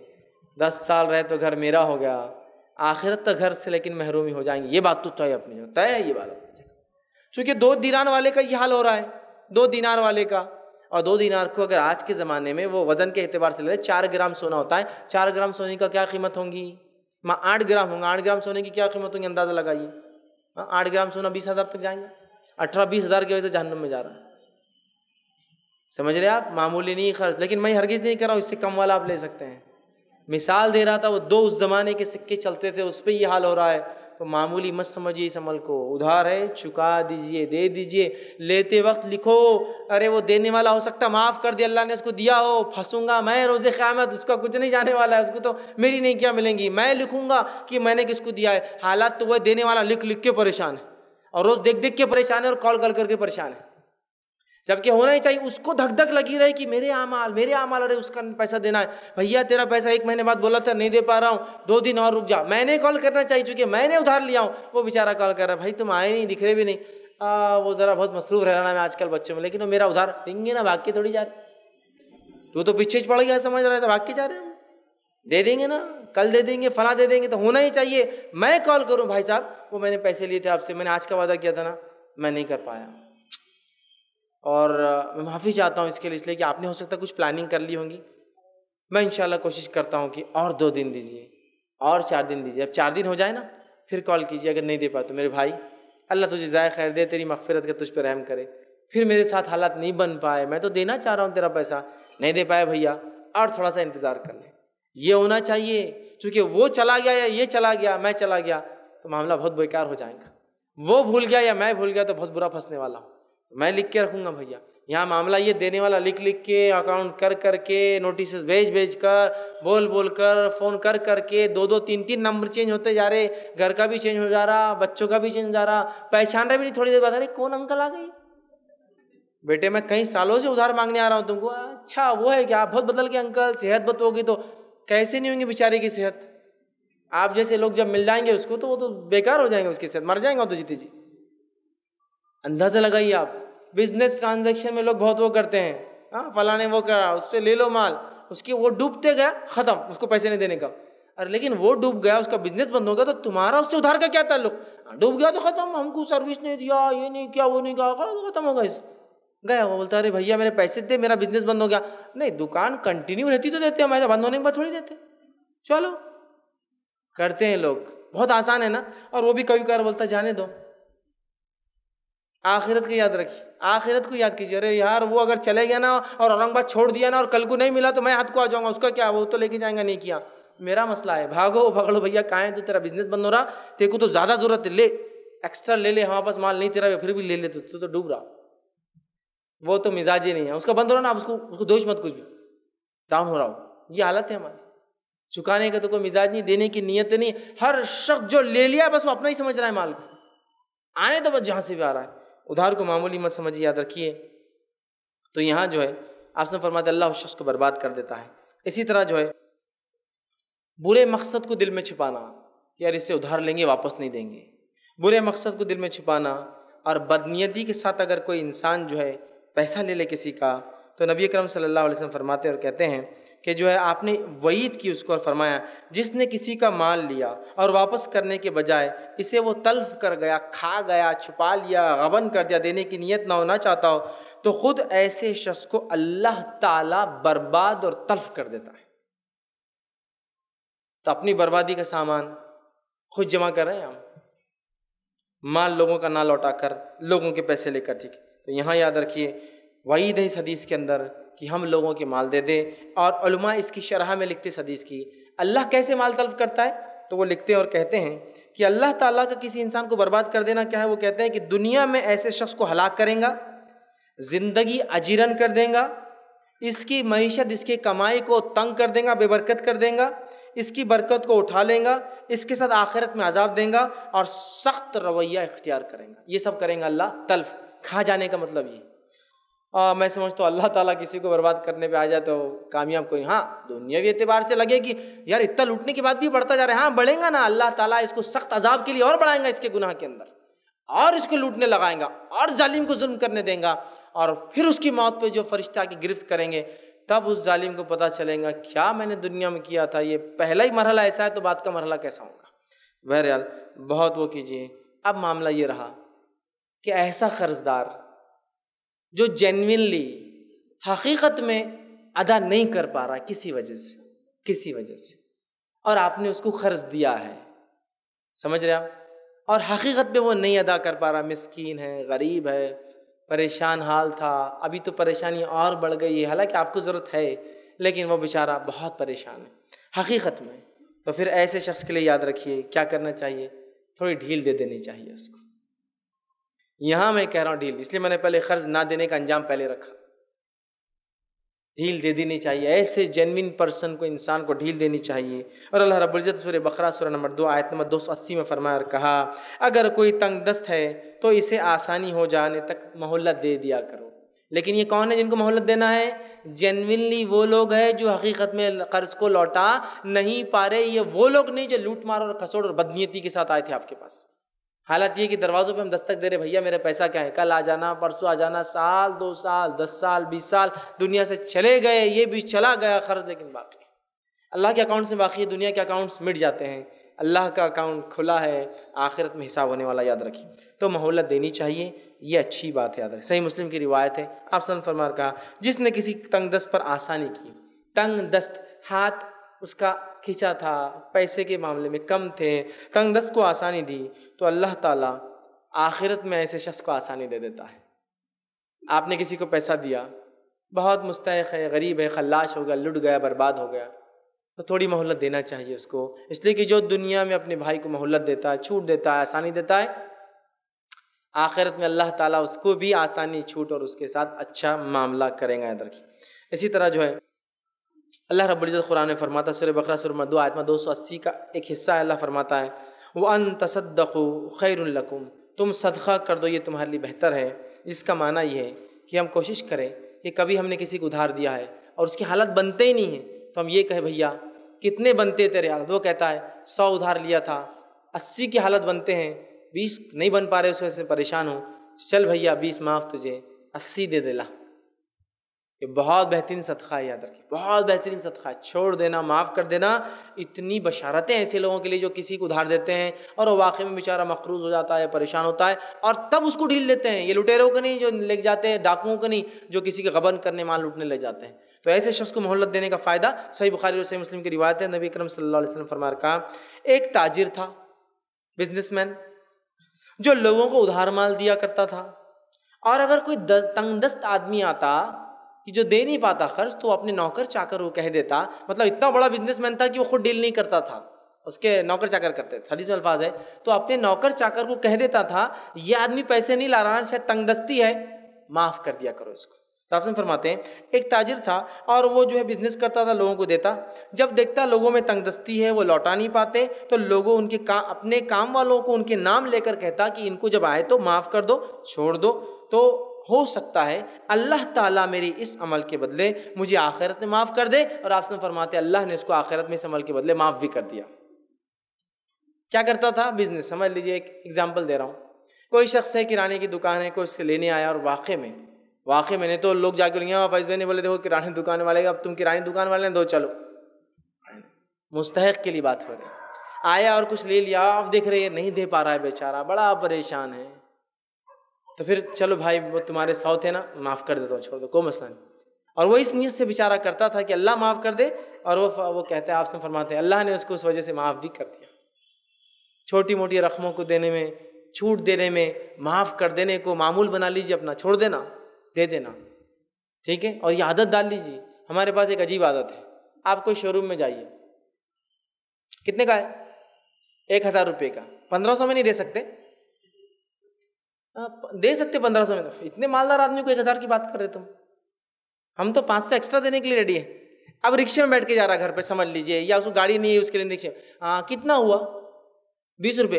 لوٹ کے کھا رہے۔ برکت نہیں آتی اس لیے تم ایسی مر رہے بیماریوں کے اندر۔ بیس روپے کے لیے رکشے والے سے لڑ رہا اور وہاں ایکسٹرا دے کے لا رہا۔ چھوٹے لوگوں سے جھگڑا کرتے ہیں اور بڑے شو روم سے تو منہ بھی نہیں کھلتا ہے کچھ بولنے کے لیے۔ چھوڑ دینا چھوٹے موٹے حساب۔ رہنے دے بھائی بولنا تیرے کو یہ کوئی ویسٹرنر کی ٹپ نہیں ہے، یہ صدقہ ہے ایک مسلمان کا۔ ویسٹرنر ٹپس دکھاوے کو دیتے ہیں، جہاں دکھتا ہے وہیں دیتے ہیں۔ یہ مسلمان کا صدقہ ہے۔ ٹھیک ہے، کوئی باتیں رکھ لو۔ چھوٹے موٹے لوگ ہیں یار، اتنی کم کم تنخواہ پہ کام کرتے، دے دیا کرو۔ بھیک مانگنے کو آیا تو اس کو تو کبھی دے دیتے ہوں، لیکن راستے میں کوئی سڑک کھود رہا تو کبھی کچھ کھانا لا کے دینے کو نہیں ہوتا۔ محنت کر رہا نہ ہو، جان تو کرنے دو۔ لیکن ہمارے میں تو کوئی جذبہ، نیت، نیکی کا ہونا چاہیے نا اپنے بھائی کے لیے۔ وہ نہیں ہوتا، چھوٹے لوگوں سے جھگڑتے، سبزی کے لیے بھاوتا ہو رہا ہے لیکن کبھی جائیں گے شو روم میں تو کوئی بھاوتا نہیں ہوگا کیوں؟ تھوڑا کما لیں گا بچہ اتنی دھوپ میں بیچ رہا ہے۔ جا، لے جا۔ کتنے میں ایک صاحب کو میں نے دیکھا لون پہ رحم کرے وہ کیا کرتے سبزیاں لاتے اور کچھ لوگوں میں عادت ہوتی ہے، ایک جذبہ ہوتا ہے۔ وہ سبزیاں لاتے تھے۔ جب میں ان کے گھر گیا تو بہت مالدار آدمی، مالدار کروڑ پتی اپنے گھر کا ٹرانسپورٹ کی بڑی کمپنی ان کی کئی گاڑیاں چلتے ہیں پورے ہندوستان بھر میں۔ ان کے گھر میں سبزی کی دکان۔ فروٹ مطلب وہ ترکاریاں بیچ رہے۔ میں نے کہا، عجیب بات ہے، ان کے گھر میں ترکاری دکان کیوں ہے؟ تو جب میں وہاں گیا تو دیکھا ہر ترکاری سبسڈائز ریٹ میں۔ مطلب اگر سمجھ لیجیے پیاز چل رہی پچاس روپے کلو تو ان کے پاس پانچ روپے کلو۔ اور لوگ آ کر لے جا رہے ہیں ان سے۔ تو میں نے کہا، تم نے سبزی کی دکان کیوں ڈالی؟ تو ان کے کام والے نے کہا، یہ سبزیاں تو ہے ایکچوئل ریٹ میں لائی ہوئی، لیکن بکتی ہے دس گنا کم ریٹ سے یہاں۔ اور لینے وہی آتا ہے جو مستحق ہر آدمی کو پتا ہے کہ انہیں صدقات میں دیتے ہیں۔ سبزی دکان کھول کے چھوڑ دی اور سب لے جاؤ بجا کے۔ چونکہ کوئی انسان جو خوددار ہوتا ہے اسے مانگنا پسند نہیں ہے، لیکن کم دام کی چیز تو اٹھا لے سکتا۔ ہے یہ ہوتے دینے والوں کے جذبے۔ لیکن ایسا جذبہ بولے تو یار ہوں گا بھائی فرشتہ آدمی، اس کا کیا ہے؟ لیکن اس کا اکاؤنٹ آپ دیکھیے کیسا گر رہا ہے اور اللہ اس کو دنیا میں بھی اس کے اکاؤنٹ میں ڈال رہا ہے۔ آخرت کے لیے تو چالو ہے تو نیکی کرنے والے کے لیے بہت ساری چیزیں۔ لیکن ہم سوچتے نہیں، چھوٹے چھوٹے لوگوں سے جھگڑا کرتے ہیں۔ چونکہ ہماری مینٹالٹی بن گئی۔ ایک مرتبہ ایک ایک جگہ سے ہم جا رہے تھے۔ اور ایک شو روم پہ ہم گئے، ہمارے ساتھ ایک ایک صاحب تھے، اور انہوں نے بہت مہنگی چیز خریدی، جس کے لیے کوئی بھاؤ نہیں کیا۔ حالانکہ اس میں اگر وہ تھوڑا بھی کہتے یا میں ریفرنس دیتا تو اس میں ریٹ کم ہو جاتا لیکن انہوں نے نہیں نہیں۔ اسٹینڈرڈ جو ہے وہ ریٹ میں اٹھا کے لے لو۔ اور گاڑی پنکچر ہوگی جہاں سے ہمارے تھے۔ اب پنکچر کی دکان پہ جھگڑا چالو۔ ان کا میں نکلا، کیا؟ کیا تیس روپیہ بول رہا بولے، تیس روپے پنکچر کیسے ہوتا ہے؟ یہ کیسا ہوتا ہے؟ میں نے کہا، ایک دیکھو، سب سے پہلے رات کے دس بجے پنکچر کی دکان میں بیٹھا ہے، تو اس سے تو اندازہ شور ہے کہ مستحق ہے بیچارہ۔ یا تو سروس دے رہا یا تو مجبور ہے۔ دس بجے تک کوئی بیٹھتا ہے کیا راستے پر؟ بی بچے اس کے بھی ہیں تو تم اس سے جھگڑ رہے، پہلی چیز غلط۔ دوسرا، ابھی تو ٹائم ایسا ہے کہ میں تیس نہیں پچاس ہی بولا تو دے دوں گا، چونکہ اپنی مجبوری اگر وہ بولا نہیں بناتا تو۔ کیا کرو گے؟ بول دیا، نہیں بناتا، کیا کرتے؟ کیا کرو گے؟ دوسرا، تیسرا، یار اس کی مجبوری بھی تو سوچو، تم نے جب وہاں لیے تو میں اگر اپنا حوالہ دیتا تو تمہارے کو کتنا پرسنٹیج کا تم نے بولے ضرورت نہیں ہے۔ یہاں تم تیس روپے کے لیے جھگڑتے اس سے۔ کیا سوچ ہو چکی ہے ہماری؟ بنائیے دینے والا مزاج۔ دیجیے لوگوں کو۔ تو یہ آدمی کیا کرتا تھا؟ چاہنے تو معاف کر دیا۔ اس کی نیت یہ تھی کہ اللہ معاف کرے، اللہ نے اس کو معاف بھی کر دیا۔ صحیح بخاری اور صحیح مسلم کی متفق ایک اور روایت سنی۔ افسم فرماتے ہوئے کہتے ہیں، ایک آدمی مر گیا۔ مرنے کے بعد فرشتوں نے اس سے پوچھا، کیا سوال کیا فرشتوں نے؟ پوچھا، کس چیز کی وجہ سے تیری بخشش ہو گئی؟ مطلب مرا اور اس کی مغفرت ہو گئی۔ تو فرشتوں نے کوشچن کیا تجھے کیوں اللہ نے بخش دیا؟ کیوں معاف کر دیا؟ مطلب فرشتوں کو بہت زیادہ عمل نظر نہیں آ رہے تھے اس کے۔ اسی لیے تو فرشتے کوشچن کرے بھائی کس چیز نے تجھے بخش دیا؟ تو وہ شخص نے جواب دیا اور کہا، میں لوگوں سے لین دین کرتا کرتا تھا۔ اگر کسی تنگ دست کو پاتا تو اسے درگزر کر دیتا تھا، کر دیتا۔ تھا اور محتاج اور نادر کے قرضے کو میں کم کر دیتا تھا۔ میرا کام کیا تھا؟ مجھے اللہ نے جو معاف کیا، غریب آتا، مسکین تو معاف کر دیتا۔ اور کوئی نہیں دا پا نہیں دے پاتا تو اس کو کم کر دیتا قرضہ، سو ہے تو چلو پچاس دے دو۔ تو یہ وجہ بنی کہ اللہ تعالیٰ نے مجھے معاف کر دیا۔ اسی طرح سے مسلم کی روایت ہے۔ نبی اکرم صلی اللہ علیہ وسلم فرماتے ہیں اور کہتے ہیں کہ جسے یہ اچھا لگے کہ اللہ تعالیٰ اسے قیامت کی تکلیف سے نجات دے، جسے اچھا لگے کہ قیامت کی تکلیف سے اللہ اسے نجات دے، اسے چاہیے کہ تنگ دست کو مہولت دے، یا ہو سکے تو قرض کو معاف کر دے۔ یہ کون لوگ ہیں؟ جینوین جو مستحق ہے، مستنڈے نہیں، جو قرض لے کر گھر بار، گاڑی، بنگلے، بچوں کی تعلیم اور اور پتہ نہیں کیا کا خرچ کر رہے ہیں، یہ وہ مستحق ہے، معاف کر دے اس کو۔ بھیا، معاف کر دیا تجھے، مستحق دکھ رہا تھا۔ اور کوئی ضروری نہیں، مستحق ہو تو جو ہے فلاں، مستحق بہت ہوتے ہیں۔ اور جس کو ہم کہیں گے نا، وہ مسکین کی پہچان ہی ہے کہ بولتا نہیں ہوں۔ اس کو پہچاننا پڑتا ہے آپ کو۔ بولیں گا نہیں کہ میں ہوں، مجھے دو۔ پہچاننا ڈیٹیکٹ کرنا پڑتا ہے، اس کو دینا پڑتا ہے، اس چیز کو ہم بہرحال سمجھیں اور معاف کرے تو اللہ کے رض کیا فرما رہے جو شخص ہی چاہتا ہے کہ قیامت کی اللہ اس کو تکلیف سے دور کرے، اسے چاہیے کہ تنگ دست کو قرض میں مہلت دے۔ اسی طرح نبی کرم صلی اللہ علیہ وسلم فرماتے اور کہتے ہیں، جس نے تنگ دست کے ساتھ آسانی کا معاملہ کیا، اسے قرض معاف ہی کر دیا، قیامت کے دن اللہ اسے اپنے سائے میں جگہ دیں گا۔ اس روز، جس روز عرش کے سائے کے علاوہ کوئی سایہ نہیں ہوگا۔ کس کو؟ جو تنگ دست کو معاف کر دیا چلو ٹھیک ہے، کوئی بات نہیں معاف کر دیا میں نے یہ رقم تم کو۔ اس روز سایہ دیں گا جس طرح عرش کے علاوہ کوئی سایہ نہ ہوں گا۔ اسی طرح صحیح مسلم کی ایک اور روایت ہے، نبی اکرم صلی اللہ علیہ وسلم فرما کہا، جس نے کسی مومن کی تکلیف کو دور کی، جو اسے دنیا سے تعلق رکھتی تھی اور قرض ایک بہت بڑی تکلیف ہوتی ہے کہ آخر میں حقیقی مومن کے لیے، اس لیے کہ خرچ کا، قرض کا بوجھ، ادھار کا بوجھ وہ برداشت نہیں کر سکتا۔ اس کی فطرت میں نہیں کہ کسی سے وہ لے۔ اس کا مزاج دینے کا ہوتا ہے، لیکن وہ مجبور ہوتا ہے، اس لیے قرض لیتا ہے۔ تو آسم فرماتا ہے، جس نے کسی دنیا میں کسی کی تکلیف جو اس سے تعلق رکھتی تھی، اس کو دور کر دیا، اس کو رکھتی تھی، اسے دور کر دیا، تو اللہ اس کی آخرت میں تکلیفوں کو اس سے دور کر دیں گے، دور کر دیں گے۔ تو جینونلی مستحق لوگوں کو آپ ضرور معاف کریں خرچ کے معاملے میں، ادھار کے معاملے میں۔ لیکن یہ دینے، یہ معاملہ کس کا ہے؟ یہ قرض معافی کا دینے والے کا ہے، لینے والا نہیں بول سکتا ہے۔ سمجھ رہے آپ بات یہ دینے والے کا جذبہ ہے، نہیں تو لے لو، بولے، اس سے اپن پھر حدیثیں بتا دیں گے، لے جا، لے کر، اور پھر بولیں گے، معاف کر دو۔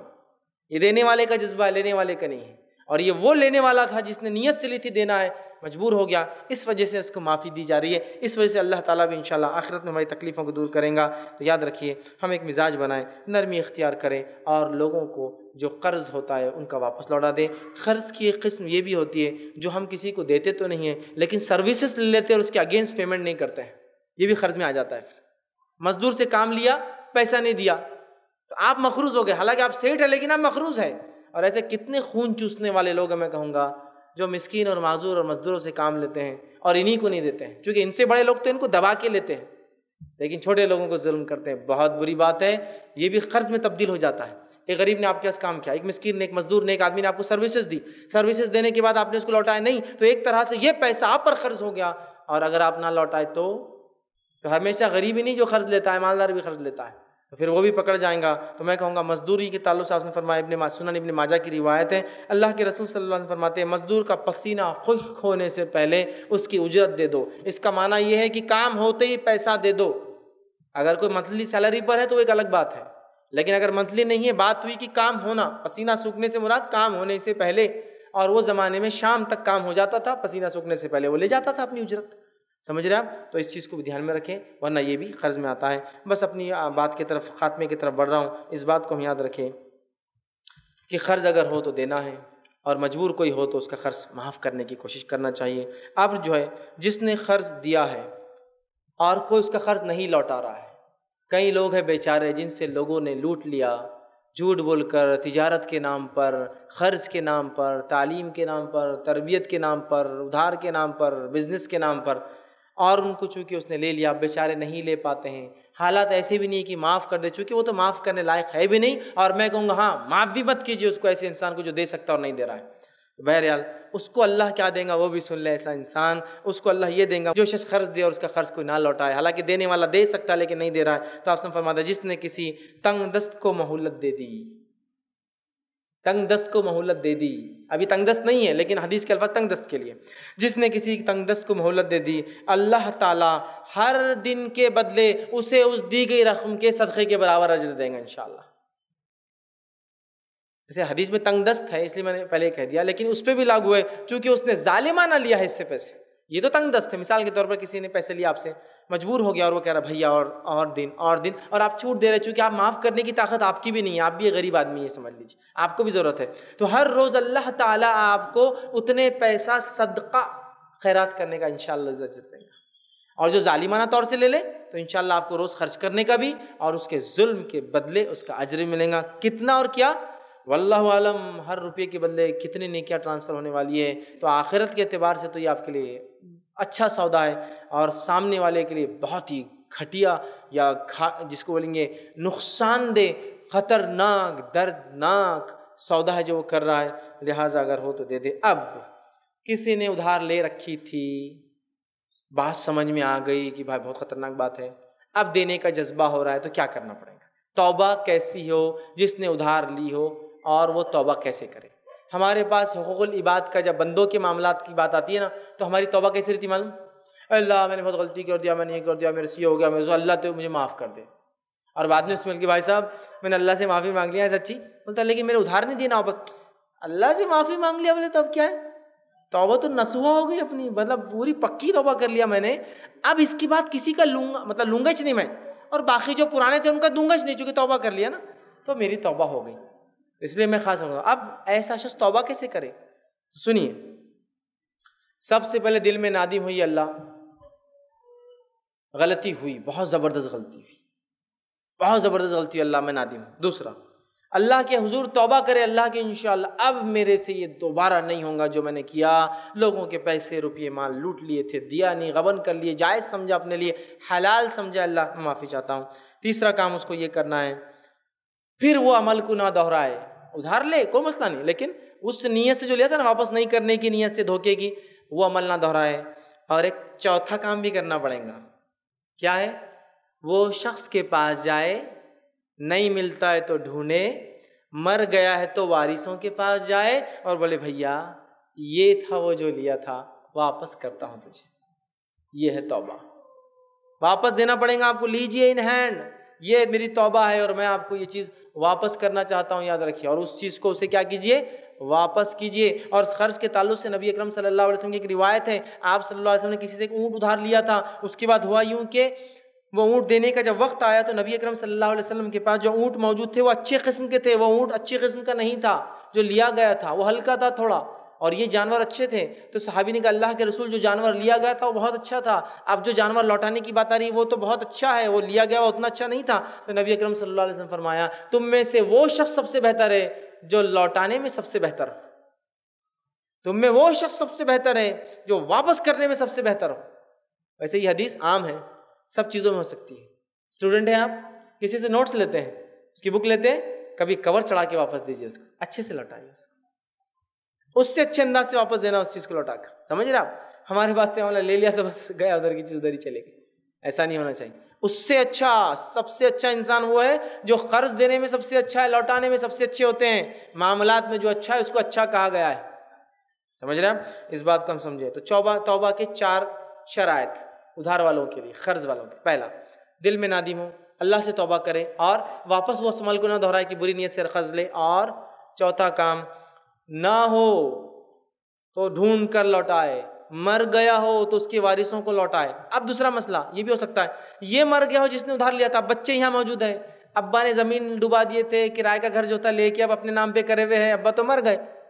واپس لا تو اس کے وارث جا کر ان کے وارثوں کو پکڑیں گے۔ اگر وہ زندہ ہے تو اس کو یا اس کے وارثوں کو اس کے بچوں سے کہیں گے، ہمارے ابا نے غلطی کی تھی۔ یہ زمین آپ کی، ہم چابی دے کے نکل جا رہے ہیں۔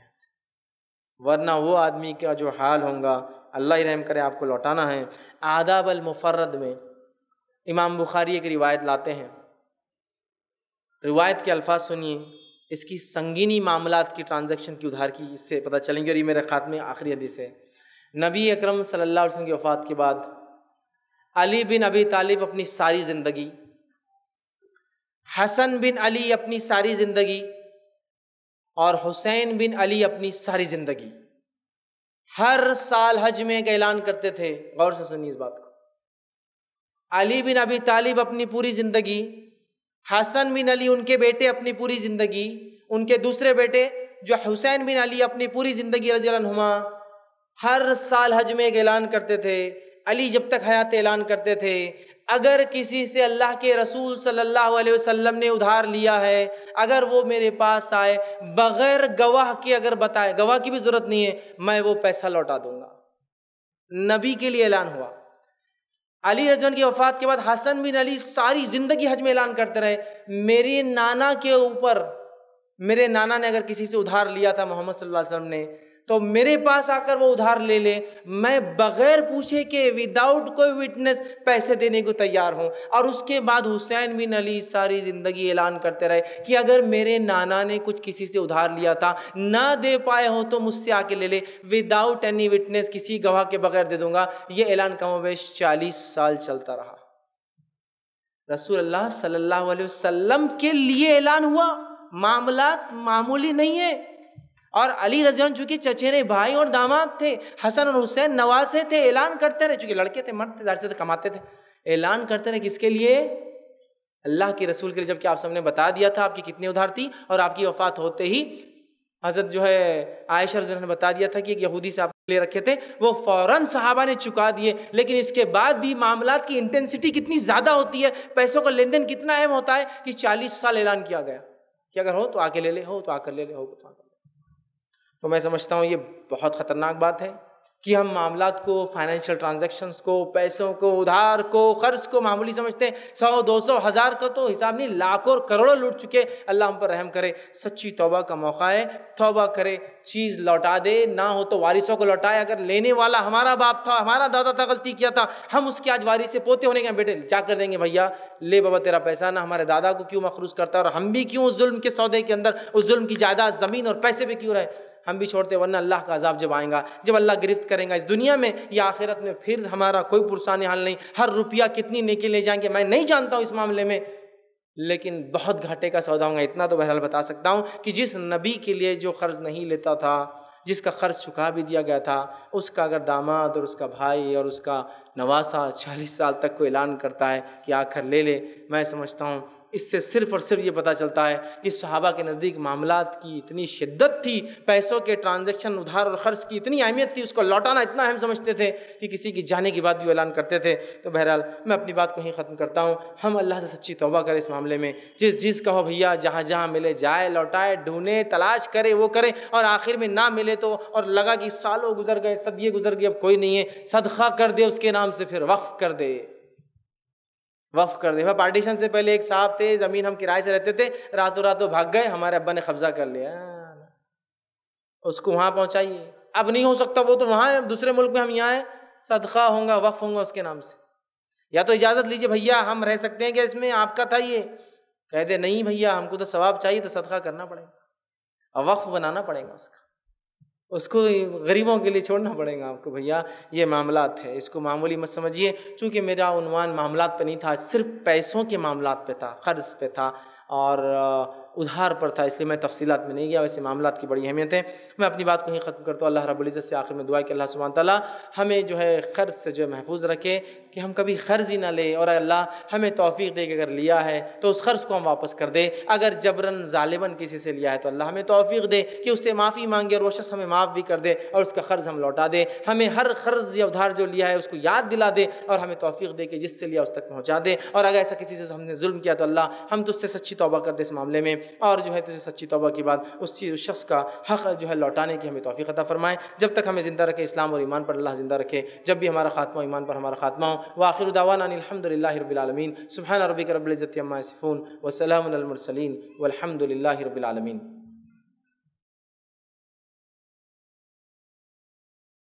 بسم الله الرحمن الرحيم. الحمد لله رب العالمين. والصلاة والسلام على خاتم النبيين والمرسلين. رب اشرح لي صدري ويسر لي أمري واحلل عقدة من لساني يفقهوا قولي أما بعد. السلام عليكم. میرا نام شیخ صاحب ہے. میرا سوال ہے کہ آپ نے کہا کہ جانوروں پر جو ظلم جانور کرتے ہیں تو ان کا بھی حساب ہوگا۔ تو میرا سوال یہ ہے کہ انسان جو جانور پر ظلم کرتے ہیں، کرانے لگاتے ہیں، ایک دوسرے کو لڑائی کرنے لگاتے ہیں، تو اس کا حساب اس کا بھی گناہ انسان کو ہوگا یا جانور پر ہی ہونا بھائی نے ایک سوال کیا میرے عنوان سے کہ میں نے کہا کہ جانوروں کا بھی اللہ حساب کریں گا، تو اگر کسی انسان نے جانور پر ظلم کیا تو کیا اس کا حساب ہوں گا ہاں ہوں گا اور کس شدت سے اس نے جانور پہ ظلم کیا، اس شدت سے اللہ بدلہ لیں گا۔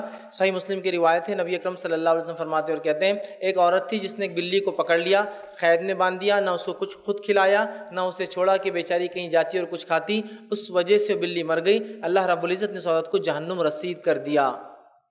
تو ایک بلی کو مارنے سے ایک عورت جہنم میں گئی اسلام وہ دین ہے جو جانوروں پر بھی ظلم کرنے کی جات نہیں دیتا جانور پہ ظلم کرنا بھی جہنم میں جانے کا باعث ہوتا ہے۔ تو لہٰذا اگر کسی انسان نے جانور پر بھی ظلم کیا ہے تو وہ شخص جو ہے اس کا بدلہ روز قیمت پائیں گا۔ سوائے اس کے کہ وہ اللہ سے پھر سچی توبہ کر لے۔ کسی نے ایک سوال کیا کہ ہم نے کسی کو قرض دیا تھا مگر اس شخص نے واپس نہیں کیا اور الٹا اور کچھ دے کہنے لگا۔ تو ہم نے اس اس شخص کو کہا کہ پہلے کا قرض معاف کرتے ہوئے ابھی اور دینا کچھ نہیں۔ تو کیا جو ہم نے معاف کر دیا، تو کیا اللہ ہم کو اجر دے گا؟ کیونکہ ہم نے معاف تو دل سے کر دیا تھا، مگر اس وقت ہم کو اس پیسے کی سخت ضرورت تھی۔ کسی نے ایک سوال کیا کہ کسی کو انہوں نے ادھار دیا تھا اور اس شخص نے وہ قرض واپس نہیں دیا؟ بعد میں انہوں نے سچے دل سے اس کو معاف بھی کر دیا، پھر وہ شخص بعد میں اور آیا کہ بھائی مجھے اور قرض دو، لیکن انہوں نے دوسرا قرض نہیں دیا۔ تو انہوں نے کہا، کیا وہ معاف کر دینے کا اللہ انہیں اجر دیں گا؟ جبکہ ان کو تب سخت ضرورت تھی۔ تو ہاں اگر آپ نے سچے دل سے معاف کیا ہے، تو اللہ تعالیٰ ان شاء اللہ عزیز آپ کو ضرورت تھی۔ ضرورت ہونے کے بعد بھی آپ نے معاف کیا۔ مومنوں کی ایک صفت جو قرآن نے بیان کی وہ یہ ہے کہ وہ خود کو ضرورت ہونے کے باوجود دوسروں کے لیے خرچ کرتے ہیں۔ تو ان شاء اللہ آپ کو اللہ تعالیٰ اس معافی کا ضرور اجر دیں گا۔ حالانکہ آپ کو ضرورت تھی ضرورت ہوتے ہوئے آپ نے معاف کیا؟ ان شاء اللہ اس کا اور زیادہ اجر ملیں گا آپ ٹھیک ہے؟ تو لہٰذا آپ نے چونکہ ان کو معاف کیا سچے دل سے تو آپ کو اللہ تعالیٰ ضرور بھی ضرور ان شاء اللہ اس کا اجر دیں گا۔ کسی نے ایک سوال کیا کہ اگر کسی کے والد صاحب کا انتقال ہو جائے اور انہوں نے انتقال سے قبل اپنی اولاد کو کہہ کر گزر گئے تھے کہ مجھ پر بہت سارے لوگوں کا قرض ہے، واپس کر دینا۔ مگر کچھ لوگ قرض نہ ہونے کے باوجود بھی کہتے ہیں کہ ہمارا بھی قرض باقی ہے، اس کا کیا کریں؟ کسی نے سوال کیا کہ کسی کے والد تھے، ان کا انتقال ہو گیا۔ انتقال سے پہلے انہوں نے کہہ دیا کہ میرا قرض بہت سے لوگوں پر ہے، وہ آئے تو دے دینا۔ لیکن بہت سارے لوگ وہ بھی آ گئے جن کا قرض نہیں تھا۔ تو میرے بھائی، اس بات کو ہمیشہ یاد رکھیے، لین دین کا جب بھی ہو تو کیسا ہونا چاہیے؟ لکھت شکل میں، ریٹرن فارم میں ہونا، کھاتے بنائیے، اس کے اکاؤنٹس رکھیے، اس کو وصیت میں لکھیے۔ لکھی ہوئی شکل میں ہونا کہ اس دن اتنے روپے ان سے لیے، دو گواہ یہ تھے ون اینڈ ٹو وٹنس اور اس دن ان کو یہ پیسے واپس دیتے ون اینڈ ٹو وٹنس معاملہ ختم ہو گیا، ایک کیس کلوز ادھار کا۔ کرنا چاہیے، اب اب یہ ایسا نہیں ہوگا بس بہت سے لوگوں کے، بہت سے لوگ آئیں گے تو پھر جھوٹے موٹے لوگ کوئی بھی کھڑے ہو جائیں گے۔ تو بہرحال، حقیقت میں جن کا تھا، اگر آپ نے ان کو دے دیا، تو بہرحال معاملہ ختم ہوا۔ لیکن اگر آپ جن کو شک کی بنیاد پہ بول رہے ہیں، ان کا نہیں ہے، جبکہ اگر ان کا ہوں گا، تو بہت خطرناک بات ہے۔ لہٰذا جن کا ہے، ان سے کہیے کہ آپ کے پاس کوئی ثبوت یا گواہ ہے کیا جن کے سامنے دیا یا کب دیا تھا یا کچھ ہوا کیا یا کوئی چیز لی تھی پتہ ہے کیا؟ اگر لگے کہ شناخت یا بات سچی ہے کہ ہاں جب ایک بار وہ گاڑی لینے جا رہے تھے نا تو تب میں ساتھ تھا تو دو ہزار لیے تھے۔ بات لگ رہی کہ ہاں جنولی ابا نے جب گاڑی کے لیے پچاس لے گئے تھے، باون کی گاڑی تھی ہاں ان سے لیے ہوں گے۔ تو معاملات معلوم ہو جاتے ہیں۔ تو ویریفائی کیجیے ویریفائی کرنے کے بعد دے دیجیے۔ لیکن سب سے بہترین طریقہ ہے، لکھ لیجیے۔ ورنہ ایسا تو پھر بہت سے لوگ آ جائیں گے اور ہو سکتا ہے آپ قرض ادا بھی نہ کر پائیں۔ لہٰذا میں کہوں گا، ان کو ویریفائی کیجیے۔ اگر وہ ویریفائی کرتے ہیں، کوئی صداقت، سچائی اپنی بتاتے ہیں، تو پھر ان کو پھر لوٹا دیجیے ان جی۔ السلام علیکم۔ میرا نام عبد العلیم ہے لین دین کا جو معاملہ ہے، اگر والد صاحب اور اولاد کے بیچ میں ہے، اور والد صاحب کا اگر انتقال ہو گیا تو اس شکل میں کیا کرنا چاہیے؟ بھائی نے ایک اچھا سوال کیا کہ اگر لین دین اولاد مطلب باپ اور بیٹے کے بیچ میں تو کیا ہوں گا؟ تو دیکھیے، پہلی شکل یہ ہے کہ اگر باپ بیٹے ایک دوسرے کو دیتے ہیں اور اس کو قرض قرض نہیں مانتے ہیں، تو پھر درست ہے۔ مطلب آپ کو بعد میں کچھ بھی لوٹانا نہیں اپنے والد کو۔ باپ بیٹوں کا تعلق ایسا ہے کہ وہ ایک دوسرے کو لیتے اور دیتے ہیں، لیکن کوئی اکاؤنٹیبلٹی نہیں، کوئی نہیں بولتا میرا ادھار یا تیرا ادھار۔ تو پھر تو کوئی مسئلہ نہیں۔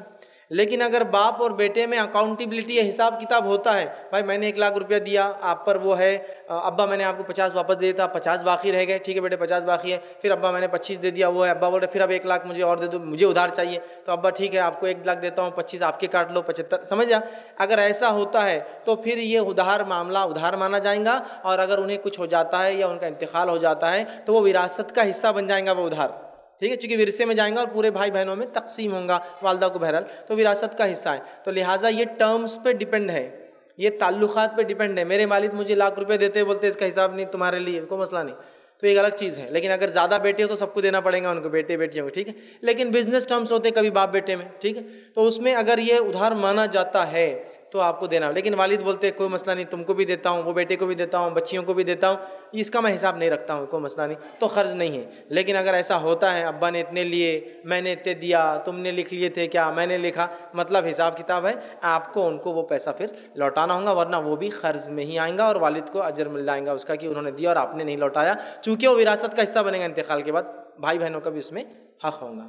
تو بہرحال یہ ریلیشن پہ ڈپینڈ ہے۔ السلام علیکم ورحمۃ اللہ وبرکاتہ۔ شیخ، میرا ایک سوال تھا کہ جیسا قرض کے، جیسا قرض کے مطابق آپ کا عنوان ہے، تو جیسا کہ ہم جس اورنگ آباد شہر میں رہتے ہیں، تو زیادہ تر غیر مسلم کالجز میں ہم ایڈمیشن بھی لیتے ہیں اور اس کے اندر تعلیمات حاصل حاصل کرتے ہیں۔ تو جیسا کہ ہم، ہمارا یہ فرض بنتا ہے کہ غیر مسلموں تک جیسا ان کا دین اسلام کے احکام مکمل طور پر پہنچا دے۔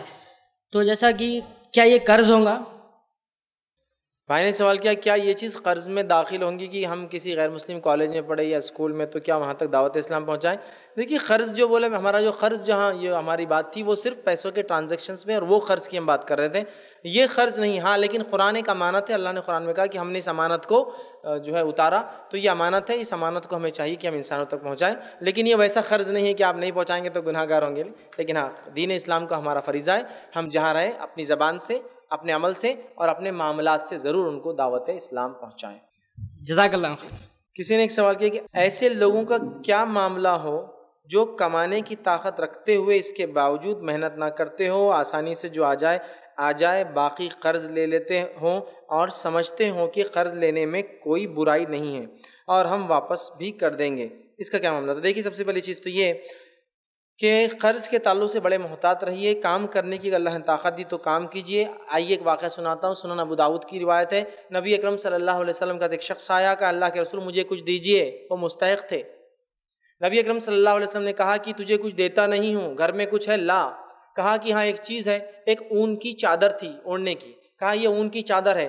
نبی اکرم صلی اللہ علیہ وسلم خود بنفس نفیس سڑک پر کھڑے ہوئے، کھڑے ہو کر اس کی چادر اون کی اٹھائی اور کہا، کوئی ہے اس کو خریدنے والا؟ کوئی بائر ہے اس کو، ایک شخص نے کہا کہ میں اس کو پرچیز کروں گا، خریدوں گا، کہا ٹھیک ہے، چار درہم اس کی کاسٹ طے ہوئی، چار چار پیسے طے ہوئے۔ نبی اکرم صلی اللہ علیہ وسلم نے اس کو فروخت کیا، چار پیسے اس سے لیے۔ آپ خود اس شخص کے ساتھ بازار گئے، بازار جا کر ایک کلاہڑی کا سامنے کا کندہ خریدا اور اس کے بعد ایک لکڑی لے کے اس کو اپنے ہاتھ سے آپ نے ٹھوک کر اس میں لگا کر دیا۔ دو روپے کا وہ کندہ اور جو ہے وہ لکڑی آئی اور دو درہم اس کو دے دی، خرچ کر اور کہا، اب صبح صبح جنگل جا۔ اور لکڑیاں کاٹ کر لانا، یہ مانگنا درست نہیں ہے۔ وہ شخص کہتا ہے کہ پھر میں جنگل جانے لگا۔ لکڑیاں کاٹتا، مدینے کے بازار میں لا کر بیچتا۔ اور جب نبی اکرم صلی اللہ علیہ وسلم کی وفات ہوئی، میں مدینے کے سب سے مالدار لوگوں میں سے ایک انسان تھا۔ تو اسلام مانگنے کی اجازت نہیں دیتا بھیا۔ کام کرو، جوتے پالش کرو، لکڑی کاٹو، گاڑیوں کی سروسنگ کرو، دھو، کوئی چیز چھوٹی نہیں ہوتی۔ کوئی کام چھوٹا نہیں، اگر حلال ہے تو۔ کچھ بھی چھوٹا نہیں۔ معاملہ یہ ہے کہ وہ میرے شان کے خلاف تو کام چلے گا نہیں، میں یہ لیول کا آدمی ہوں۔ اور پہلے دن جاتے میرے کو مینیجر بنا دینا کمپنی میں۔ وہ مینیجر سے پوچھو کہاں سے آیا وہاں تک وہ۔ ایسا نہیں ہوتا ہے دنیا میں۔ حلال کام کرنے میں مت شرمائیے، کوئی کام برا نہیں ہوتا۔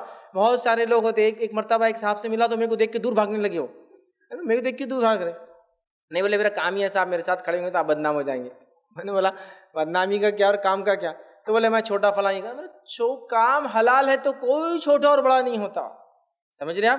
تو بہرحال اگر وہ کام کر سکتے تو پہلے کام کرے، اسلام گدا گری مانگنے کو پسند نہیں کرتا۔ دوسرا قرض ایک بہت بڑا بوجھ ہے۔ نبی اکرم صلی اللہ علیہ وسلم دعائیں سکھاتے تھے قرض کے بوجھ سے بچنے کے لیے قرض اتارنے کے لیے۔ میرے بھائی، تو احتیاط کیجیے۔ اس لیے کہ پتہ نہیں، زندگی حالات ساتھ نہ دے قرض کے معاملے میں۔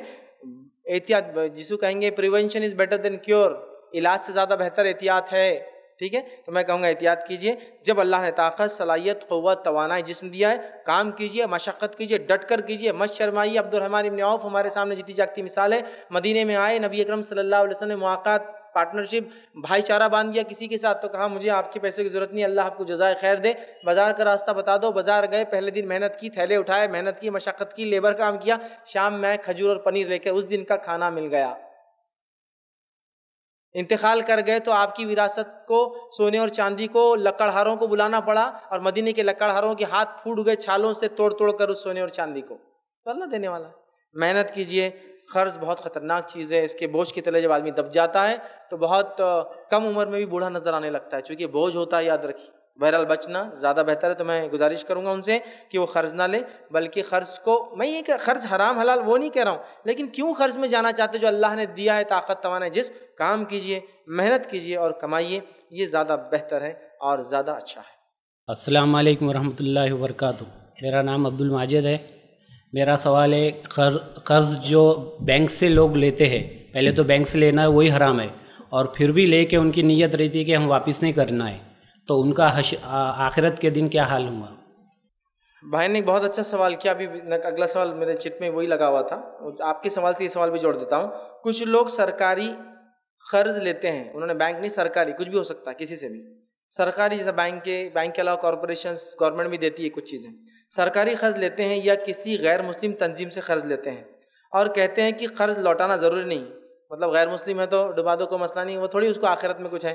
اور بینک ہے گورنمنٹ کا تو ہے، کیا ہو رہا پبلک پراپرٹی توڑ دو فلاں، کون حساب لینے والا ہے؟ اور آپ کا سوال تھا کہ بینک سے قرض لے لیتے ہیں اور ڈبا دیتے ہیں۔ ٹھیک ہے، جبکہ وہ لینا ہی حرام ہے، لیکن لیتے پھر بھی کیا ہوں گا؟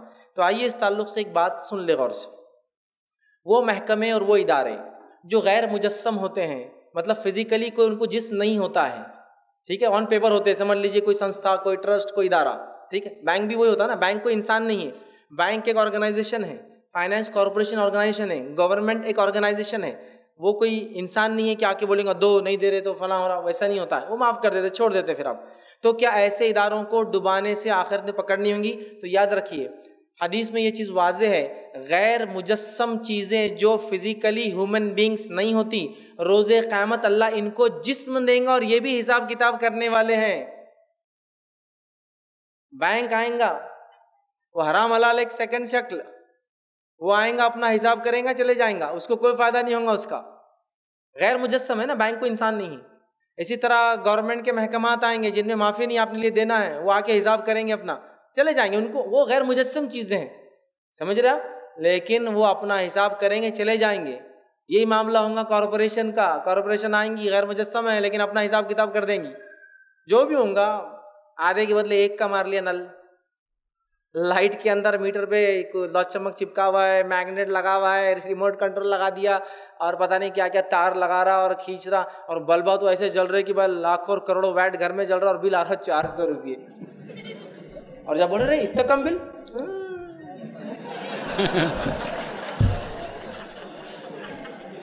ارے لیکن یہ آواز میں کیوں نہیں بولے؟ انلیگل کام ہے، آواز میں نہیں بولتے، اس کو سمجھ گئے نا تم؟ اب میں کیا کروں اس کے لیے؟ بلاؤ، فون کرو، وہ کر دیتا۔ نام نہیں بولنا اس کو۔ کر دیتا، ہو جاتا کام۔ پندرہ سو روپئے لگاؤ، میٹر کا بل دو سو سے اوپر جاتا ہی نہیں۔ گھر میں سیگڑی چولہا، گیزر، جمعے کے دن غسل لے رہا، گیزر سے چونکہ جمعے کے دن واجب ہے غسل، تو گیزر سے غسل، پھر نماز کو جا رہا، اور وہ لائٹ چوری کی۔ کارپوریشن تھوڑی آئیں گا ایم ایس سی بھی آئیں گی کہ ہاں M S D C L آ کے کھڑا ہو جائیں گا۔ حساب کریں گا، چلو۔ اس کو کوئی فائدہ نہیں، لیکن میرے نام میں عمال میں کمی کر دیں گا ہے طاقت تو چیز، لو، لائٹ رکھنا واجب نہیں ہے۔ لائٹ میں جینا واجب نہیں ہے۔ ضروریات میں سے یہ، ٹھیک ہے ہے تو ٹھیک، طاقت تو استعمال بند رکھو۔ دیا بھی جل سکتا ہے نا۔ یہ بات بڑھیا ہے میں ہم نا جلائیں گے وہ موبائل کھانچے کے ہاں، سم کارڈ لاؤ، پتہ نہیں کیا سروس کالا کر رہے فری ایئرٹیل آ جائیں گا۔ سرور چل گیا بولے ایئرٹیل کا لگاؤ دبئی کو کال لگا ادھر کال رینک تھوڑی پوچھنے والا اپنے سے۔ یہ سب جسم لے کے آ جائیں گے، مانو۔ یہ غیر مجسم ہے، انسان نہیں ہے، لیکن آ جائیں گے۔ ویسے پرائیویٹ کمپنیوں کے تو مالک ہوتے ہیں، وہ آ جائیں گے وہاں۔ جو کارپوریشنس ہوتے ہیں، ان کے مالک نہیں ہوتے، وہ ایک باڈی ہوتی ہے، لیکن مالک ہے ان کے تو۔ نہیں نہیں، بولے، وہ تو ہم تو کال کر رہے تھے، وہ تو ہم اگر کسی کھیت میں مالی نہ ہو تو پھل چرانے کی اجازت ہے۔ تو کسی اگر سرور جل گیا تو آپ کو انٹرنیشنل کال لگانے کی اجازت ہے۔ ہاں، آپ روز لگاتے ہیں اور آج بھی ضروری ہے لگانا اور وہ سرور جل گیا تو میری کوئی غلطی نہیں، مجھے سروس چاہیے، وہ ایک الگ کیس ہے۔ بہت احتیاط کیجیے کسی سے بھی قرض نہیں ہونا ہم کو، نہ بینک کا ہونا، نہ کوئی کارپوریشن کا۔ ارے، لے لو موبائل، وہ وہ گھر کے ایڈریس پہ وہاں کوئی رہتا نہیں ایک سال استعمال کرو، بند ہونے تک تو دس بیس ہزار کا بل کرو۔ وہاں آدمی نہیں، کوئی کون پوچھنے والا۔ مذاق مت سمجھیے یہ معمولی چیز نہیں ہے، اس کا حساب ہونے والا ہے۔ اللہ تعالیٰ جو ایک بکری سے حساب لینے والا ہے، کیا چھوڑے گا انسان کو یہ معاملات میں؟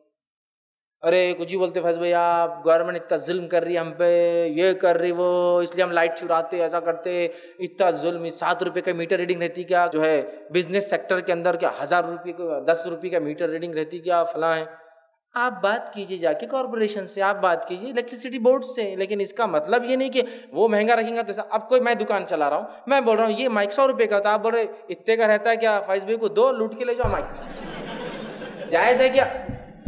میرا مائک ہے، میں بیچنا چاہ رہا ہوں میں سروس لینا لیجیے تو جائیے، کہیں اور جائیے۔ اپنی الیکٹریسٹی پیدا کیجیے، مت رہیے لائٹ کے اندر۔ اتنا لیجیے جتنا ضرورت ہے۔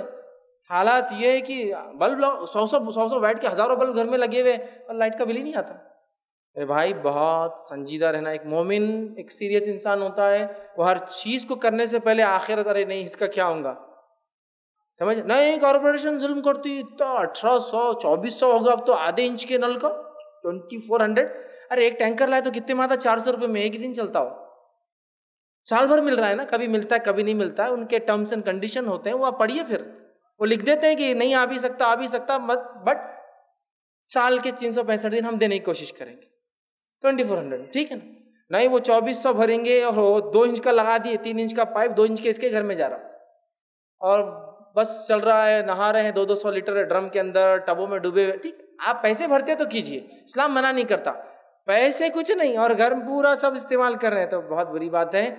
ویسے تو اسراف بھی ہے اور اسراف کے علاوہ غلط بھی ہے تو غیر مجسم چیزیں جو جسم نہیں رکھتی ہے، وہ بورڈز اینڈ کارپوریشنس ہوتی ہے، یا پھر کوئی انسان ہے جو چلاتا ہے تو یہ قیام الدین چاہے مسلم ہو، چاہے غیر مسلم ہو، وہ حساب لیں گا، اس کا جواب دینا ہے۔ لہٰذا بہت سنجیدگی سے ہر چیز استعمال کیجیے جتنی لگتی اتنی استعمال کیجیے اپنے استعمال سے زائد خواہشات کے لیے غلط طریقوں سے کام کرنا، یہ درست نہیں ہے۔ بہت سارے لوگ مجھ سے ناراض ہوتے ہیں، تم ہر بار یہ الیکٹریسٹی بورڈ کا بولتے، ہر بار نل کا بولتے، میرے کو ہی بولتے تو معلوم میرے گھر میں ایسا ہے۔